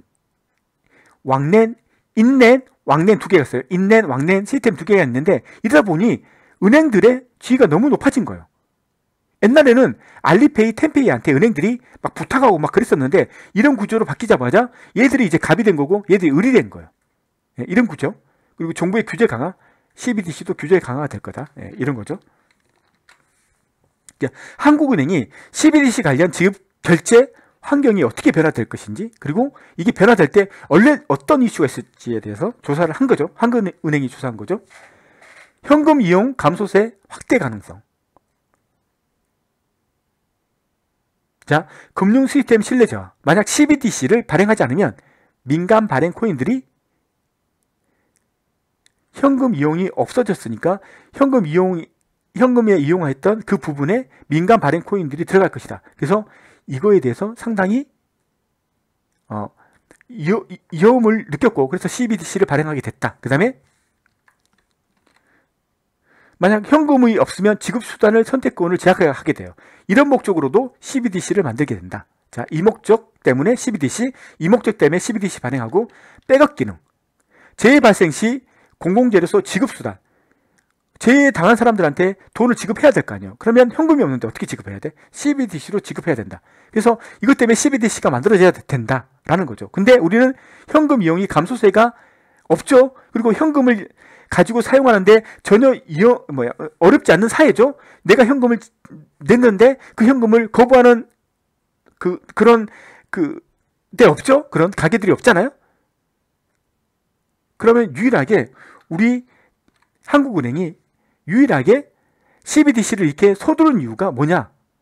민간 발행 코인 사용? 이거에 대해서 많은 부분을 뺏길 것이다. 암호화폐. 그리고 뭐 중국과 같은 다른 나라가 너무 CBDC를 빡세게 나가니까 얘들이 또 알지 못하는 영역에서 우리의 이익을 침해할 수 있다. 그런 목적으로 지금 CBDC를 발행하는 거예요. 예. 비금융 기업의 시장 진입 확대 및 독가 점화 가능성. 뭐 이것도 뭐 민간 발행 코인 아니면 다른 나라 CBDC가 생겼을 때 어떻게 될 것인가. 이거에 대해서 상당히 겁난다. 어? 그리고 민간 디지털 화폐 확산 가능성. 지금 암호화폐에 대해서 얼마나 중앙은행들이 경계를 가지고 있는지 아시겠죠? 어? 아, 디지털 화폐가 너무 많이 나오는 거예요.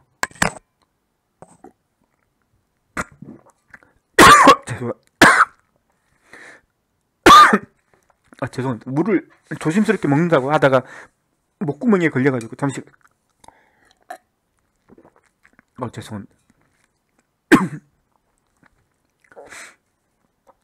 민간 디지털 화폐 가능성 그러니까 법화 은행 예금 대체 시 부작용 우려 통화 정책 금융 안정 지급 결제 이거죠.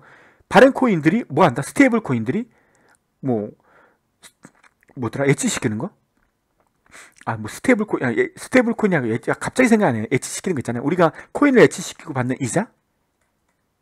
governance에 도움을 주고 받는 이자? 이런 것들 막 주잖아요. 이자 같은 것들. 그 다음에 DeFi 같은 거 이자 주고. 그러니까, 아, 가만히 있으면 은행에 사람들이 저금을 안 하고, 뭐, 이거, staking, 아, 이 staking이지. 이게 staking. staking. staking은 암호화폐를 사서 staking해서 이자를 받는다든지 아니면 DeFi를 통해서 아니면 CeFi를 통해서 암호화폐를 사서 이자를 준다든지. 그래서 현금을 가지고 암호화폐를 사서 이제 통화정책, 금융안정, 지급결제에 대해서 현금을 사용하지 않고 은행을 이용하지 않는 이 문제.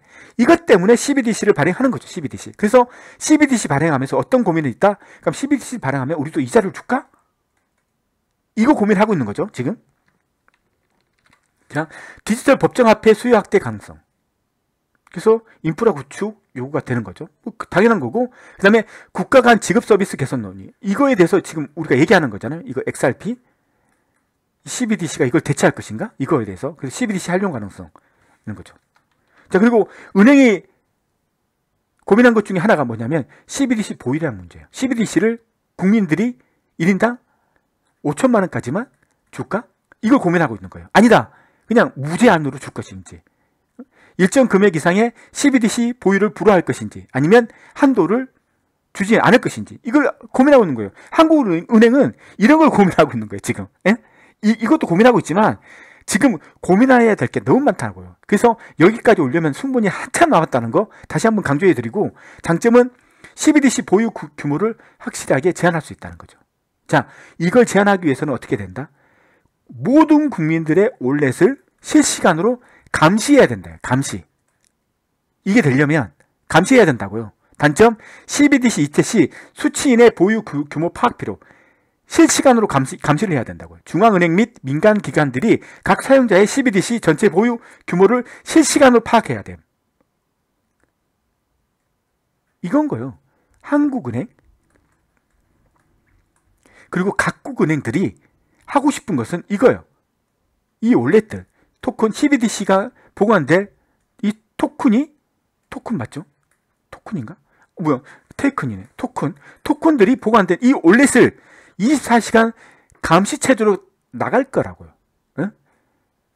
CBDC는 족쇄가 채워진 거라 족쇄가. 답답해 죽겠어요. 암호화폐에 비해서는 상당히 답답한 환경인 거예요. 그러면 한도를 안 주면 어떻게 되느냐? 그러면 뭐요? 올렛을 감시할 필요가 없는 거예요. 맞죠?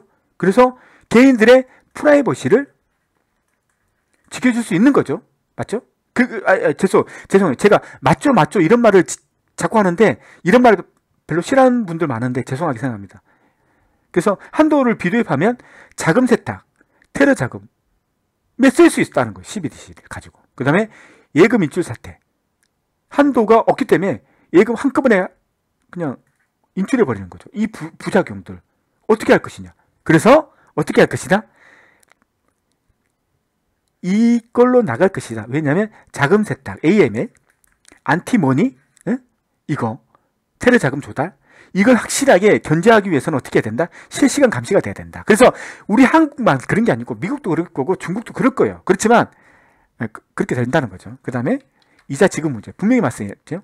staking 서비스, 암호화폐 staking 서비스, 디파이, 시파이들의 어떤 거 이자 지급하는 거 이것 때문에 많은 돈들이 이쪽으로 몰릴 거고 그러면 현금을 사용하지 않으면 CBDC CBDC를 사용하지 않을 거고 그러니까 CBDC가 발행해도 문제인 거예요. CBDC가 없어도 문제고 CBDC가 발행한다 하더라도 얘가 이자를 주지 않는 이상 뺏길 것이다. 라는 게 모두의 생각이잖아요. CBDC가 나온다 해서 지금 이 추세를 막을 수 있나요? 현금이 CBDC로 바뀐다 해서 이 추세를 막을 수 있나요? 막을 수 있는 방법은 뭐예요? 그러면 CBDC를 만들어서 CBDC를 가지고도 뭐 할 수 있는 환경, 디파이, 시파이, 스테이킹 할 수 있는 환경을 줘야 된다는 거죠. 그랬을 때 이자 지급 문제. 지급한다. 장점 통화 정책 수단으로 활용 가능. 음. 이자를 높였다가 낮췄다가 통화 정책이죠. 예. 마이너스 금리 정책 수단 할 수 있다는 거죠. 단점은 11시에 그 이자를 주니까 은행에 맡길 이유가 없는 거죠. 예. 이런 이런 문제. 은행의 중재 기능이 약화되고 신호리지가 감소되는 거죠. 신호리지가 뭐냐면 이거죠. 중앙은행이 화폐를 발행함으로써 얻는 이익이요.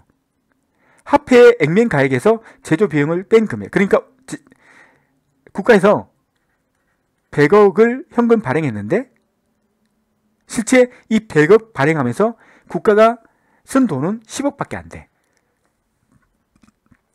그러면 현금 100억 발행하면 국가는 90억을 먹는 거예요. 그리고 또 100억을 발행하면 또 90억을 먹는 거예요. 이게 신호리지예요. 그래서 미국이 누리는 시너지가 연간 100억, 200억, 300억 정도까지 된다고 하잖아요. 지금. 지금 무차별적으로 지금 돈을 찍어내고 있잖아요. 그러면 돈을 찍어내면 미국 연주, 미 연준이 벌어둔 돈이 200, 공짜로 벌어둔 돈이 지금 200조 정도, 200억 정도 된다니까. 공짜로. 이게 시너리지 효과라니까. 근데 이렇게 벌어주는 돈이 있는데 이게, 이걸, 이 돈에서 이자를 지급하면 기존에 300억 벌었, 던데 이자로 주면 100억밖에 안 남으니까 이 시너지 감소한다. 이걸 감소할 것이냐? 라는 거죠. 근데 지급하지 않으면 뺏길 건데. 예. 비지급하면 암호화폐 사용이 증가될 건데. 그래서 현금과 같으므로 거시 경제적 영향 최소화. 하지만 암호화폐 사용량은 증가될 것이다. 뭐 이런 문제가 생길 수 있다라는 거죠. 자, 중앙은행은 어떤 중앙은행이 하는 역할은 뭐다? 통화 발행을 독점하는 거예요. 맞죠? 그래서 통화 공급을 통제하고 금리를 관리하고 가격을 안정성시키고 인플레이션을 유지시키는 거예요. 근데 암호화폐가 생기면서 통화 발권을 위협하고 있는 거예요. 자, 다이, stable coin, stable coin, 뭐 이것들은 뭐 화폐에 일대일로 연동돼 있으니까 그렇다 치고 DAI 계열 이런 것들은 발권시키는 거잖아요, 발권. 이 발권의 기능은 누가 있다?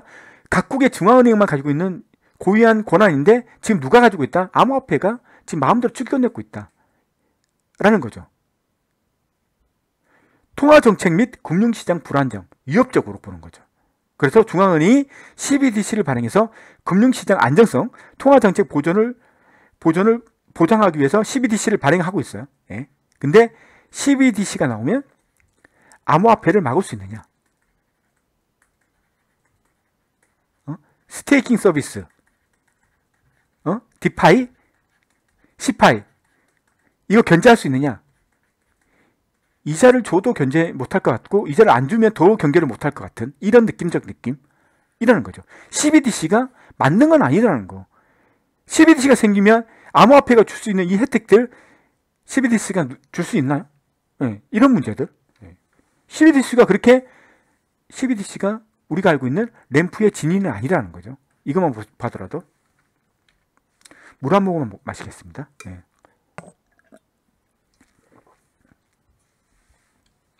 그리고 2단계에 거치고 있다. 그렇지만 우리나라가 국민들의 눈치를 많이 보고 중국의 눈치, 중국이 이렇게 빨리 나가는데 우리는 뭐 하느냐라고 국민들이 탁 따라한다는 거 알고 있습니다. 그런데 개인적인 소견으로는 CBDC는 단순한 디지털 커런시가 아니다. 얘는 그냥 단순한 디지털 커런시가 아니다. 이걸 이게 나옴으로써 현금이 축소되고 이거 나옴으로써 많은 사람들이 사람들이 사람들한테 영향을 미친다라는 거죠. 빠른 스피드 좋습니다. 다른 나라보다 더 빠르게 나오는 거 좋습니다. 하지만 우리가 고민해야 되는 것들 고민하고 우리가 보다 두모 줘야 되는 국민들이 어떻게 보다 주, 줄 것인지 안전장치 마련하고 그 다음에 CBDC를 설계해도 결코 늦지 않다. 중국이 저렇게 빨리 만들어서 휘두른다 하더라도 거기에 너무 주눅들지 말고 우리는 우리의 길을 가야 되고 CBDC는 많은 생각과 사상과 많은 사람들의 토의가 있어야 된다. 라는 걸 한 번 더 강조하고 싶고 그래서 2021년 얼마나 이 그 중앙은행에서 고민하고 있는지 알고 있어요. 이분들이 말을 할 때마다 어, 어 하는 거 어떤 말을 할 때마다 이런 말을 해요. 그래서 뭐 어떤 사회자가 막 질문해요. 뭐 하면 어, 어 그게 어 이게 그 사람들이 멍청해서 그렇게 어, 어, 어, 어 하는 게 아니라고요. 자기가 어떤 말을 하느냐에 따라서 어떻게 된다는 걸 너무나 알고 있기 때문에 또 그 똑똑한 사람이 말을 제대로 못하는 거라고요. 버벅버벅 거리는 거라고요. 그 사람들의 심정을 이해해 줘야 된다고. 국민들이 그 사람들을 압박하면 안 된다고. 중국이 이렇게 빨리 나오는데 왜 우리는 이렇게 못하느냐? 우리의 기술력이 뭐냐? 너희들 지금 놀고 있는 게 아니냐? 이런 식의 관점으로 쳐다본다는 것은 너무 미시적인 관점이 아닐까? 좀 거시적으로 생각해 볼 필요가 있다는 개인적인 생각을 하면서 이제 넘어가고 이제 결론이에요. 자, CBDC는 XRP를 대체할 것인가? CBDC는 리플을 대체할 것인가? 자, 해외 송금 절차 지연 이후에요. 자, 한국 중앙은행이 있고 미국 중앙은행이 있어요. 자, A은행, 우리 한국의 A은행은 먼저 어디? 미국의 A은행에 계좌를 개설해야 돼요. 그리고 여기에다가 뭘 해야 된다? pre-funding. 달러를 pre-funding 해야 돼요. 달러. 맞죠? 그래서 사람이 송금 의뢰를 하면 어떻게 하는 거죠? 이 은행에 계좌로 돈을 보내줄 것을 요청하는 거죠. 자, 스위프트를 이용한다면 메시징 기법, 메시징 기법으로 보낼 거고 그렇게 보낼 거예요. 맞죠? 그러면 이 은행은 한국 A은행 계좌에서 그 금액만큼 빼서 어떻게 한다? 이 사람한테 주는 거예요. 이게 가장 간단한 방법이에요. 그럼 복잡한 관계는 어떤 거냐면 이거죠. 얘가 또 몇 단계를 거치는 거죠. 이렇게 몇 단계를 거쳐서. 어? 그래서 시간이 많이 걸리는 거죠. 자, 그러면 이 가장 기본적인 경우에도 16시간이 지체될 수 있는 환경이 만들어질 수 있는데 그게 어떤 거냐? 첫 이거죠. 자, 이게 의뢰를 했어요. A은행에서 결제일에 오나 송금을 끝내고 오후 5시에 통보하는 거죠. 오후 5시에 우리 한국시 오후 5시에 A은행에 메시지로 통보해요. 오후 5시에. 그러면 뉴욕은 새벽 3시기 때문에 어떻게 해야 돼요? 9시까지 은행원이 나와서 이걸 하, 확인해야 돼요. 놀랍지 않나요? 이걸 자동으로 하면 되지 않나, 요 이렇게 얘기하시는 분이 있는데 이해를 하셔야 돼요. 각 국가마다 시스템이 있어요. 우리 한국은 세계 베스트예요. 시스템이. 그래서 우리 한국은 은행원이 연관되지 않아도 모든 걸 전산화시켜서 일사천리로 할 수 있을지도 몰라요. 우리나라는.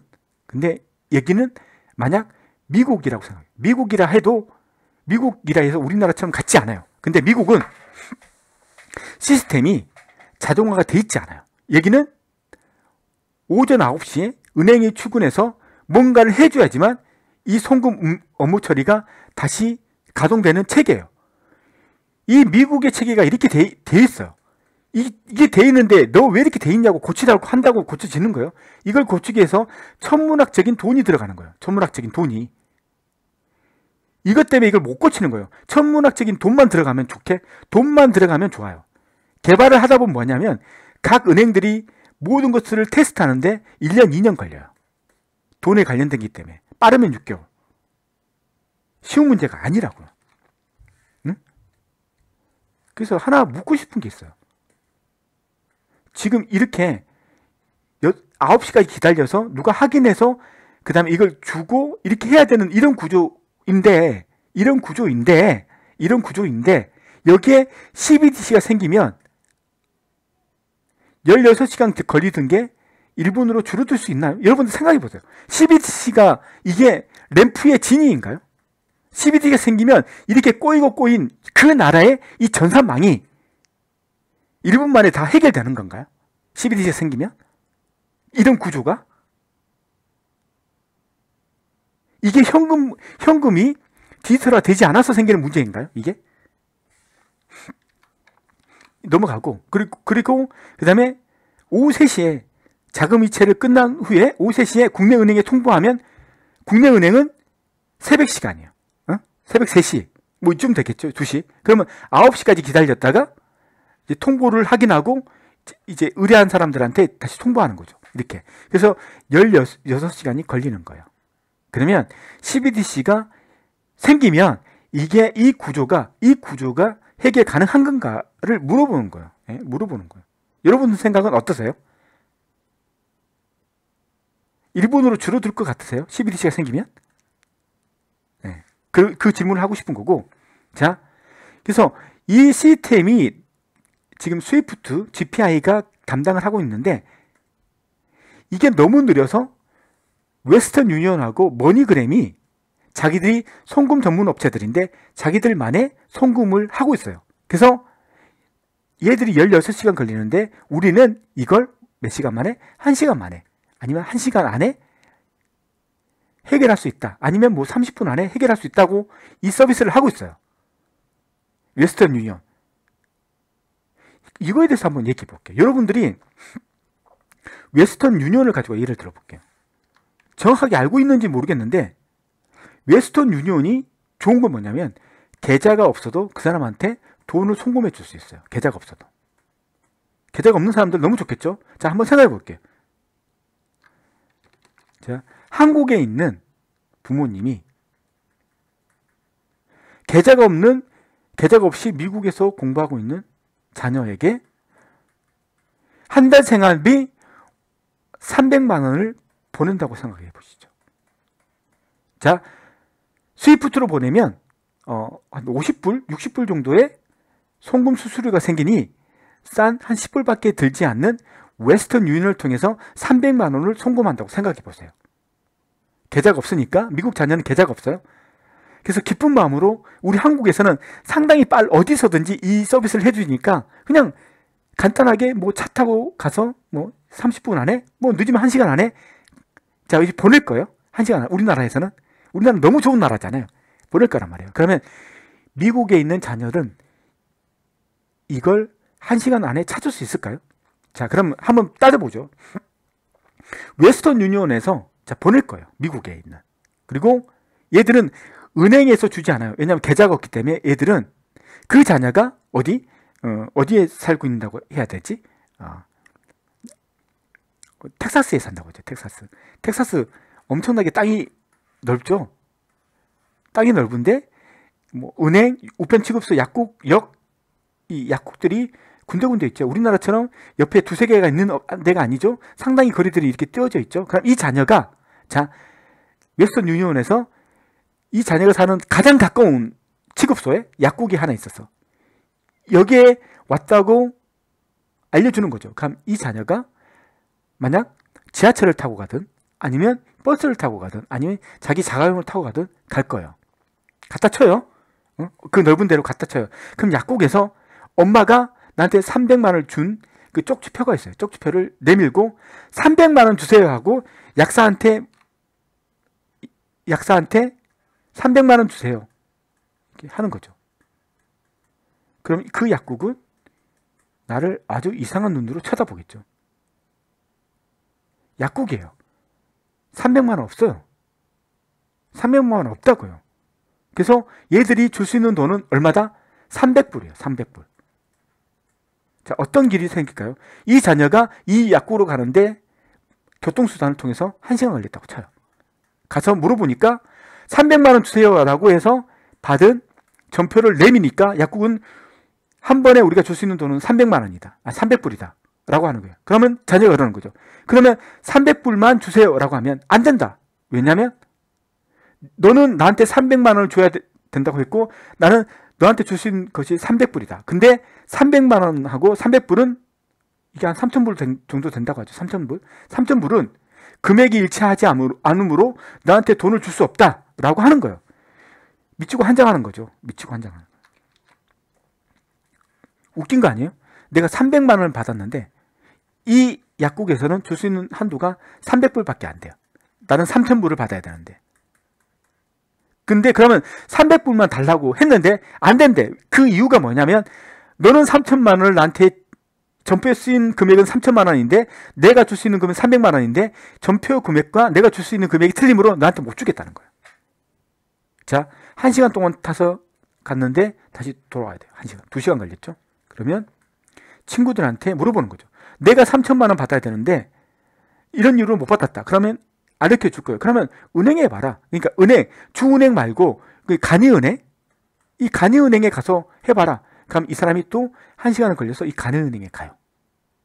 그래서 간이은행에 물어보니까 내가 줄 수 있는 한도는 천불밖에 안 된다. 너는 삼천불을 원했고 난 천불인데 너한테 줄 수 없다. 라고 하는 거예요.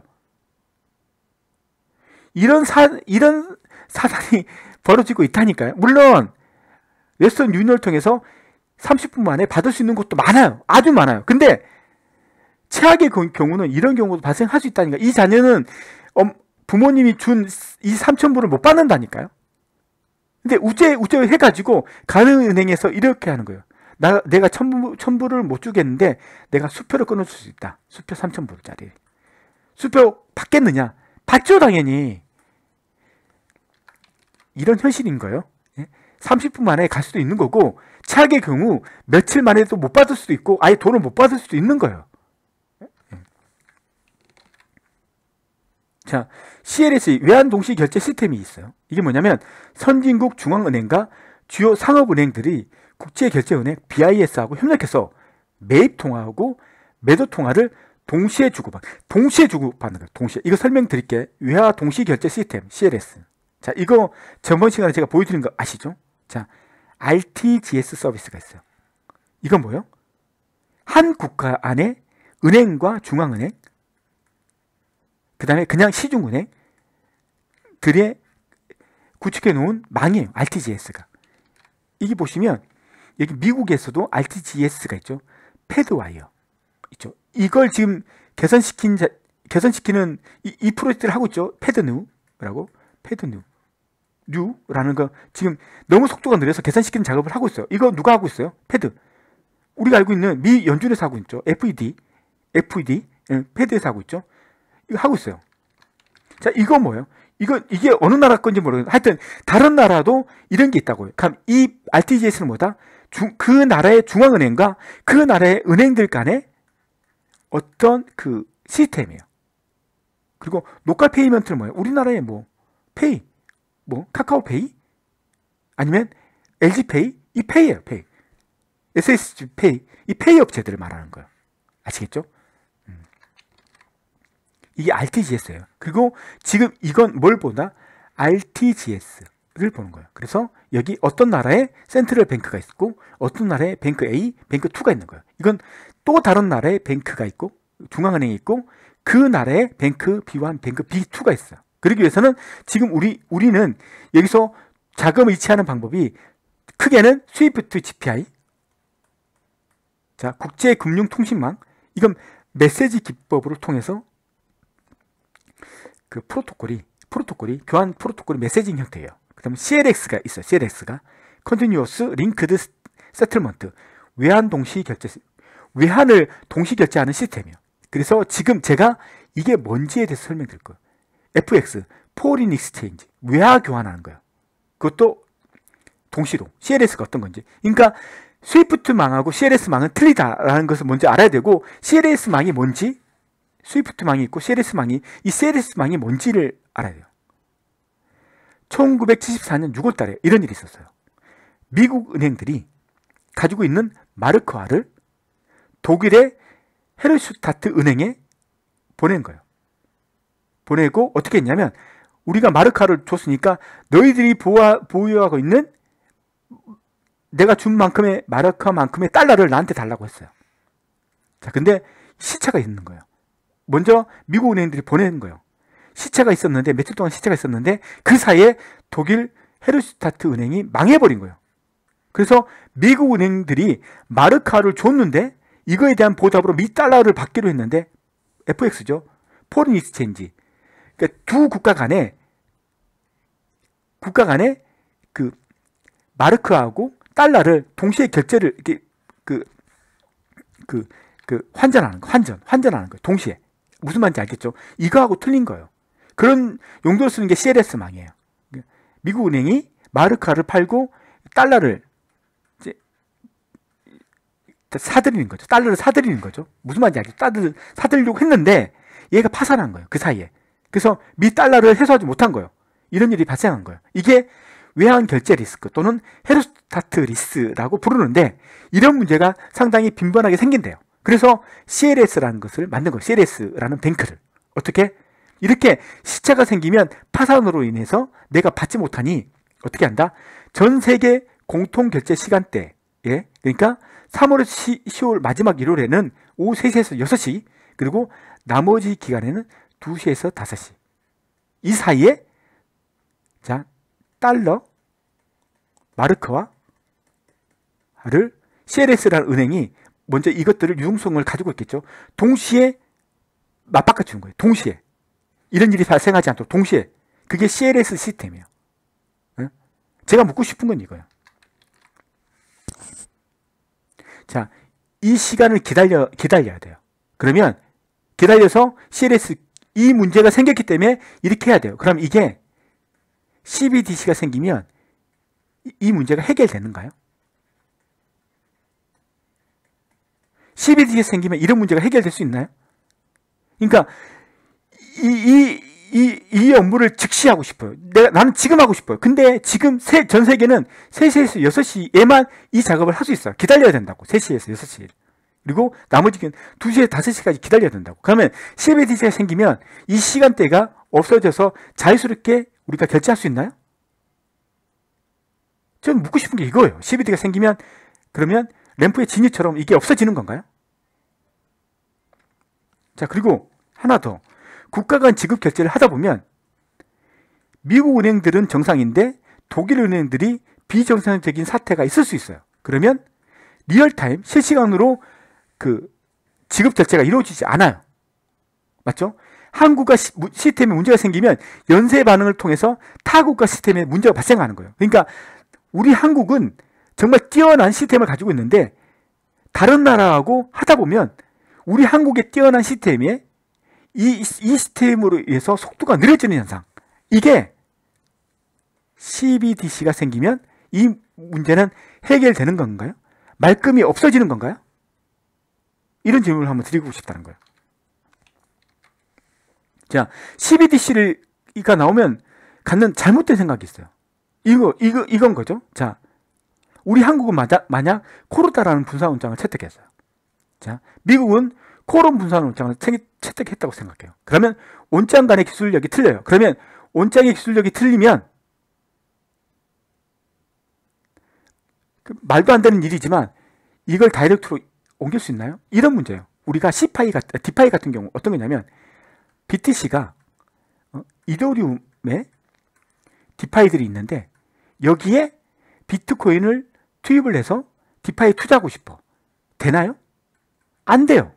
안 돼. 그래서 BTC를 어떻게 wrapped BTC로 만들고 이 랩트 BTC가 이더에서 통용되는 토큰이 되고 이걸 가지고 DeFi에서 투자를 해서 돈을 벌고 다시 이 WBTC를 BTC로 채안해서 BTC를 가져와야 돼요. 이런 호환성 과정을 거쳐야 돼요. 그러면 이 WBTC를 누가 만든 거예요? 어? Kyber Network잖아요. Kyber Network.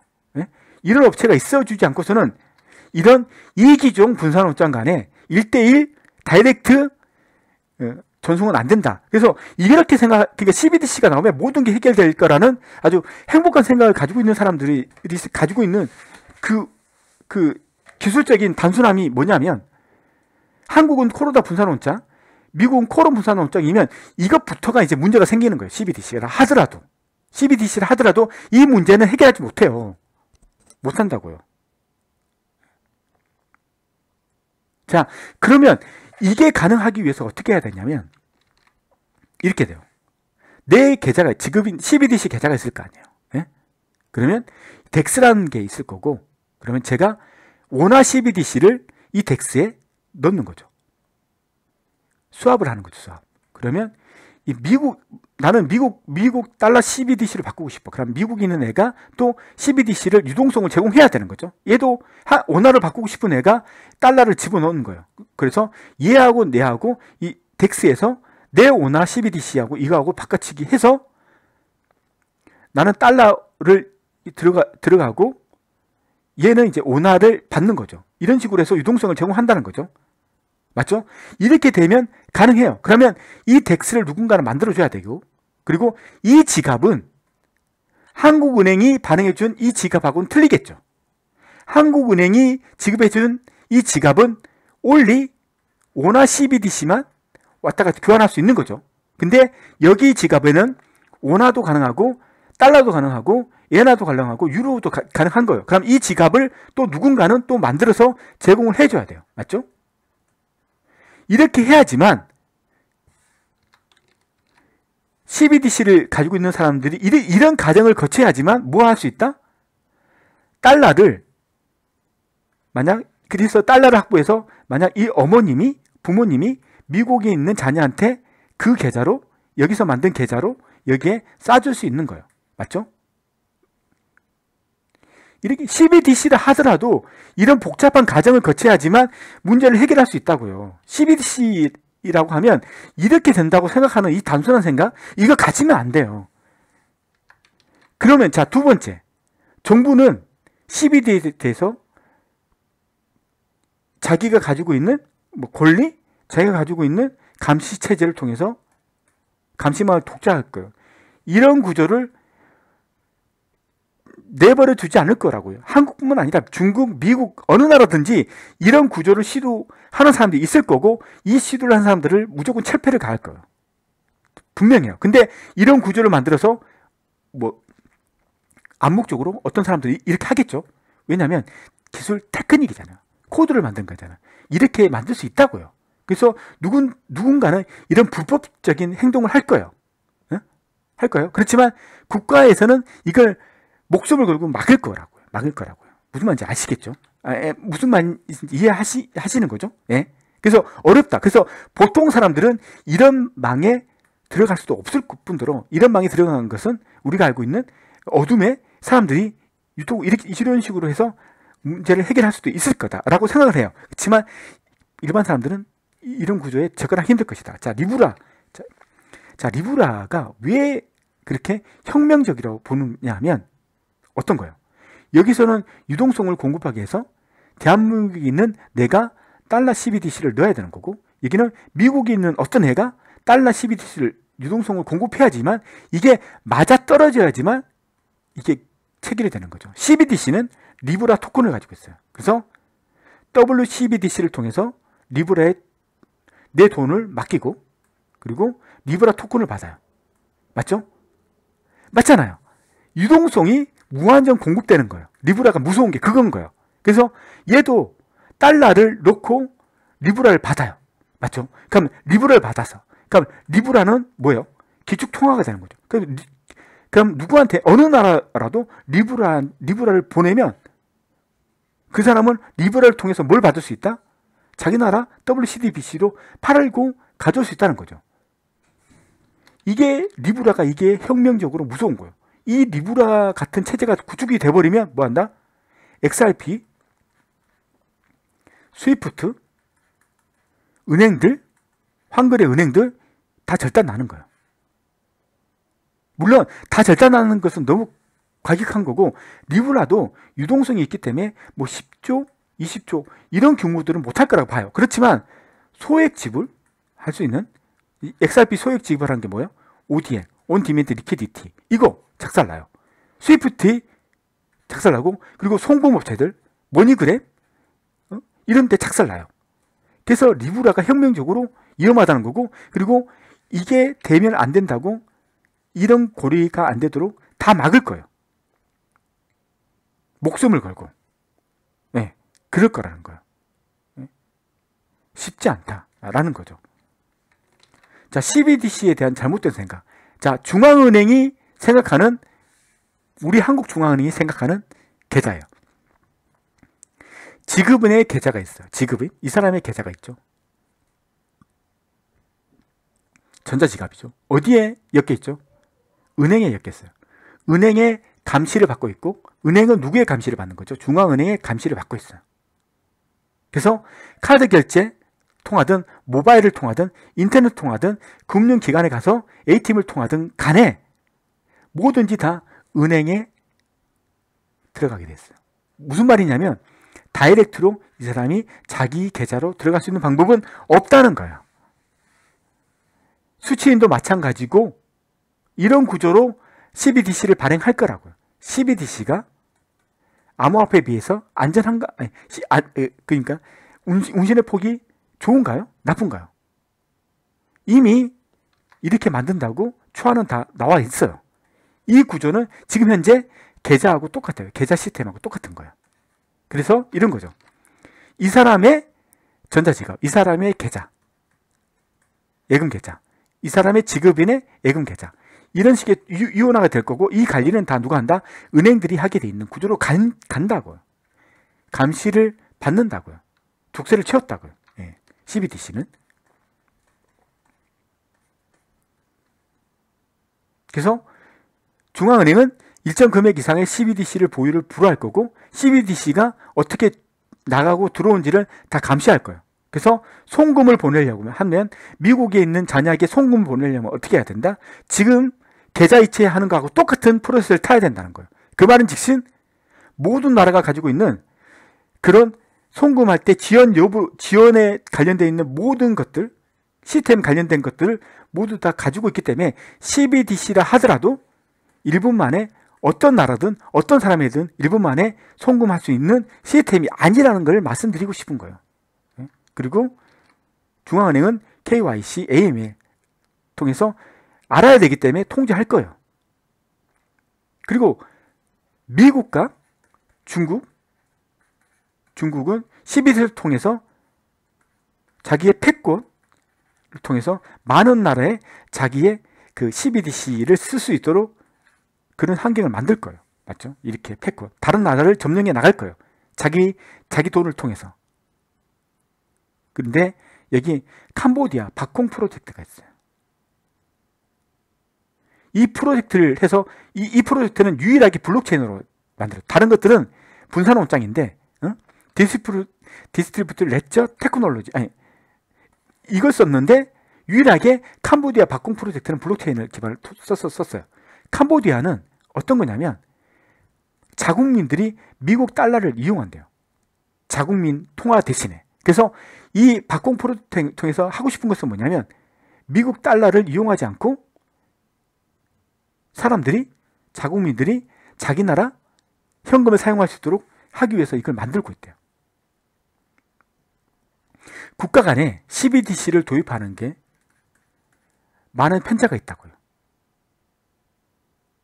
그래서 CBDC가 생긴다 해서 이 많은 국가들이 어떤 나라들은 패권을 통해서 많은 국가들을 CBDC를 통해서 그 나라의 통화를 자국의 CBDC로 다 교체하려고 할 것이고 많은 약소국들은 이 이것을 견제하기 위해서 블록체인이나 그 디스플 레저를 통해서 이걸 막을 거라고 자기 목숨들을 걸, 다 막을 거라고 이 싸움들이 계속 치열하게 될 거라고요. 그래서 CBDC 가 나오면 이런 국가 간에 있는 이 이것들을 단순히 파괴할 수 없기 때문에 CBDC를 하더라도 모든 나라의 모든 사람들한테 일 분 만에 꽂아줄 수 없다고 송금이 될 수 있지 않다고 계속 얘기하는 거예요. 네. 자 마지막으로 이거 아시겠죠? 미국의 아니면 영국의 은행 간의 서비스, 은행 간의 어떻게 은행 간이 어떻게 프로토콜, 은행 간에 주고받을 때 어떤 프로토콜이 있어야 될 거예요. 어떤 형식으로 주고받을 거예요. 내가 이런 형식으로 보내면 너는 이게 내가 이체, 이체를 한다는 형식을 알아듣고 내가 이 형식으로 주면 너는 이게 내가 너한테 송금한다라고 알아줘. 이게 둘 간에 서로 약정해, 약정해야 될 거 아니에요. 약정. 맞죠? 이렇게 약정했겠죠? 이게 중앙은행과 중앙은행과 은행들 간에 이렇게 약정을 했을 거 아니에요. 이건 뭐예요? payment 업체들이죠. LG페이, 뭐 카카오톡, 아, 카카오페이 이, 런 업체들도 이런, 이런 시스템들이 촘촘히 다 구축돼 있겠죠. 근데 여러분들이 아실지 모르겠는데 그 시스템이 지금 이런 식으로 구축되어 있다고요. 혼란스럽죠? 자, 이 미국만 그러는 거냐? 여기 다른 나라, 미국 말고 영국, 영국도 지금 알고 보면 이런 시스템들이 이런 식으로 엮여 있다고요. 답답하시죠? 스위프트를 통해서 이 메시징을 통, 하는 이 방식도 이렇게 돼 있는 상태라고요. 그럼 이 상태가 어떤 상태인지 한번 볼까요? 네. 계좌이체 지시 전문이라는 게 있어요. 그러니까 은행 간에 내가 이렇게 보내면 무슨 뜻인지 알아는 이 전문 전문이라는 게 그런 뜻이거든요. 은행이 자 메시지 보내는데 이걸 전문이라고 보내요. 전문을 딱 보내는데 이 전문을 해석하는데 아 어떤 형식으로 전문이 들어오면 아 이건 이체다. 이게 다 약전된 전문이 있어요. 자 계좌 이체 지시 전문이 있죠. 따로 있죠. 금융 상품 명세 전문이 따로 있어요. 포맷이 지급 지시 수취 은행 조회 전문이 따로 있고 청산 결제 전문이 따로 있어요. 이, 이게 무슨 말인지 아시겠어요? 그러니까 이렇게 보낼 때는 이해를 통해서 보내야 되고, 어?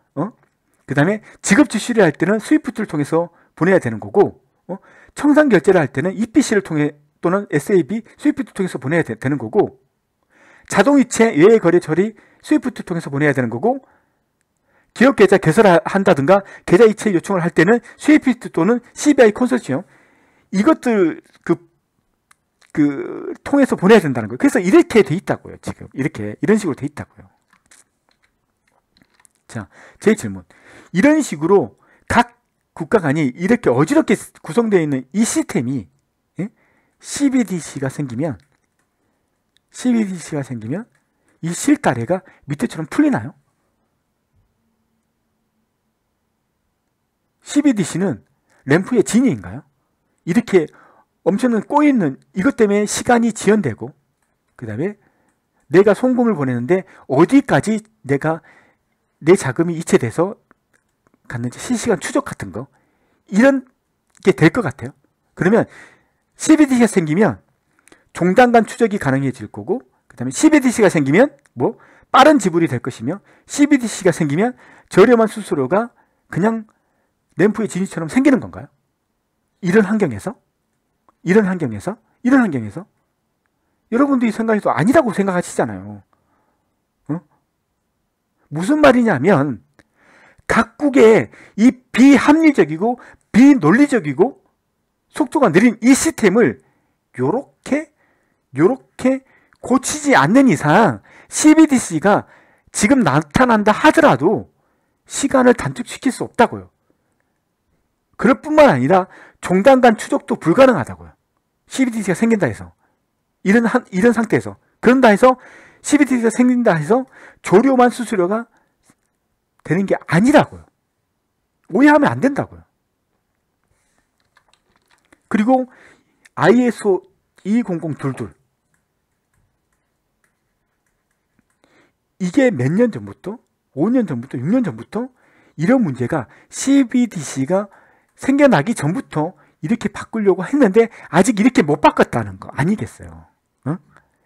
아직도 못 바꿨다니까요. 6년.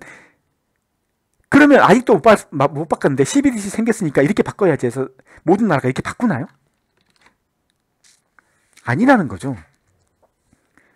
그래서 스위프트 GPI가 이런 실태를 풀어줘서 이런 실태를 안에서 어? 4일 걸리던 거 스위프트 GPI가 이걸 우리가 해결해 준다 해서 이걸 하루 만에 24시간 안에 1시간 안에 해결해 주고 있잖아요.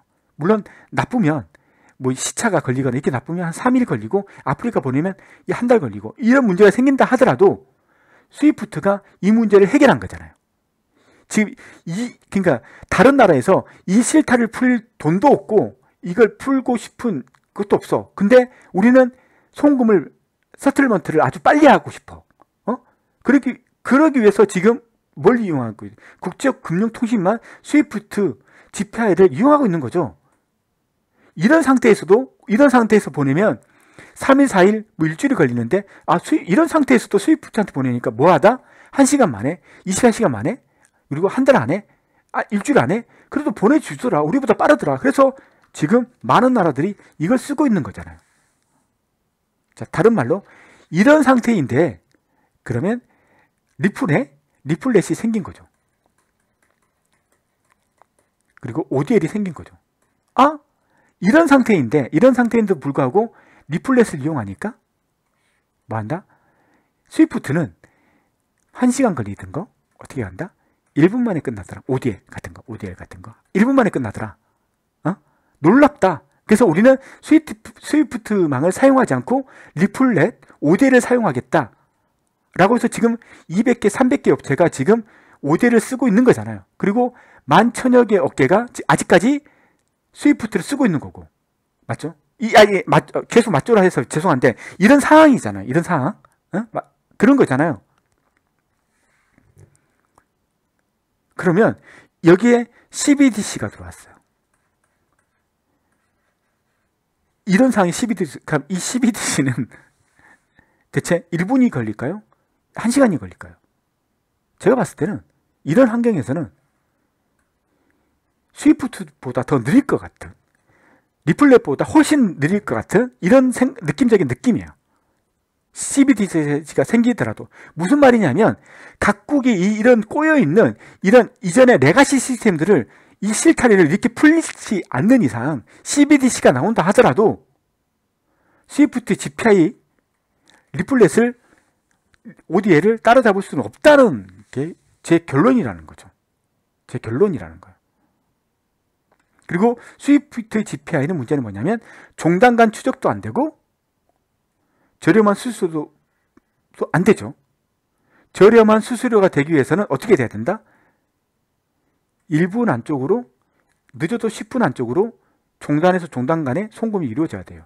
근데 그게 24시간 걸리고 하루가 걸리고 일주일이 걸리고 한 달이 걸리면 환율이 계속 계속 바꾸기 때문에 저렴한 수수료도 책정되지 못할 뿐만 아니라 송금했던 금액들도 달라질 수 있다는 거예요. 근데 그걸 누가 해결했다?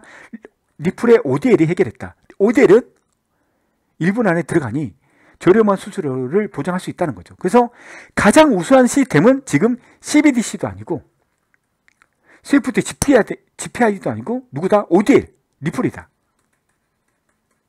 그 RippleNet이다. 그, 그, 그 중에서도 ODL이 가장 빠르다. 라는 거죠. 근데 우리의 현실은 ODL을 스위프 RippleNet 쓰는 것은 300개 업체, 200개에서 300개 업체, 그 다음에 스위프트를 쓰는 것은 만 천여 개 업체. 이 싸움인 거죠. RippleNet이 이 많은 이해관계자들을 설득해서 어떻게 여기에 있는 사람들을 뺏어오느냐. 이거의 관건이잖아. 뺏어오면 XRP의 가격은 올라갈 것이고 못 뺏어오면 XRP는 망하는 거예요. 그래서 우리는 기, 기로에 서 있는 거예요. 만약 RippleNet이 만 천여 개에서 많은 수를 뺏어온다. 얘 베팅하시면 XRP를 사는 거고 여기에 베팅을 못하겠다 하면 XRP를 파는 거예요. 간단한 거예요. 네. 자, 이, 그, 그, 얘기를 한 거예요. XRP를 OD에 동단간 추격, 빠른 지불, 저렴한 수수료 1분 그리고 이게 가능한 게 이거인 거예요. 여러분들이 모르는 거. 제가 더 설명해 드리고 싶지만 여기서 끝내는 거. 이거죠. 뱅크에 온장이, 분산 온장이 생기죠. 그리고 리플렛은 자기만의 시스템이 두 개가 생겨요. 메신저라는 게 하나 생기고, 그 다음에 레저라는 게 생기는 거죠. 그리고 FX 티커가 생기는 거예요. FX 티커가 메신저로 결제할 때 수수료와 환율 설정이 되는, 알려주는 거죠. 이렇게. 양방향 통신이 되는 거예요. 양방향. 내가 이렇게 메시지 보낼 수 있고 얘가 나한테 보낼 수 있으니까 속도가 빨라지는 거예요. 스위프트 GPI는 일방향이에요. 내가 통보만 할 수 있다고요. 통보만. 그리고 다른 채널을 통해서 내가 또 받는 거라고요. 그러니까 틀린 거라고. 속도가 빠른 이유가 이거예요. 그래서 메신저로 결제할 때 수수료와 환율 설정이 이걸 통해서 쭉 되는 거예요. ledger가 깔렸죠. ledger가 깔렸죠. 그래서 SWIFT 이거 보세요. 어떤 나라 미국에 이게 XRP 그 RippleNet이라는 시스템이 깔 여기도 시스템이 깔리고 시스템이 깔려 깔려 다 깔리는 거죠. 그러면 이것들이 여기 갔다 이 원장들은 실시간으로 전파가 되기 때문에 얘가 여기 왔다 얘가, 얘, 가 여기 왔다 얘가 여기 왔다 이걸 이 레저들이 실시간으로 통신하기 때문에 어디 왔는지 알기 때문에 종단간 추적이 가능한 거예요. 그리고 ODL은 뭐예요? 유동성을 통해서 거래소를 통해서 실시간으로 소액 지금 소액에 쓰, 이고 있는 거죠. 예, ODL은 ODL은 소액에 쓰이고 있는데 실시간으로 이 XRP를 뭐로 그 나라의 그 지표로 바꿔줘서 그 사람한테 꽂아주기 때문에 한 1분 안쪽으로 끝나요. 예, 그렇기 때문에 어, 몇 곳을 거쳐서 그 사람한테 들어가는지 그 시간 시간이라든가 수수료 같은 걸 실시간으로 계산할 수 있어요. 그렇기 때문에 속도가 빠른 거고 이런 것들. 이런 기술들을 가지고 있는 거예요 내부적으로. 그리고 이런 것들을 각 은행들의 이, 이, 이 시스템을 설치해 주는 거예요.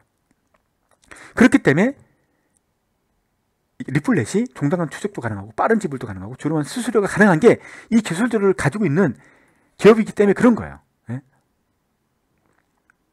자 양방향 메시징 할 때 구속 KYC 및 위험 정보도 통보해 줄 수 있는 거고요 수수료도 통보해 줄 수 있는 거고 내가 수수료 얼마야 물어볼 수 있는 거고 그 다음에 환율도 물어볼 이걸 통해서 실시간으로 알아볼 수 있는 거고 지불 세부 정보 예상 자금 전달 시간 이런 것들도 이 메시지를 통해서 다 실시간으로 채팅식으로 주고받으면서 알아, 알 수 있다는 거죠. 예.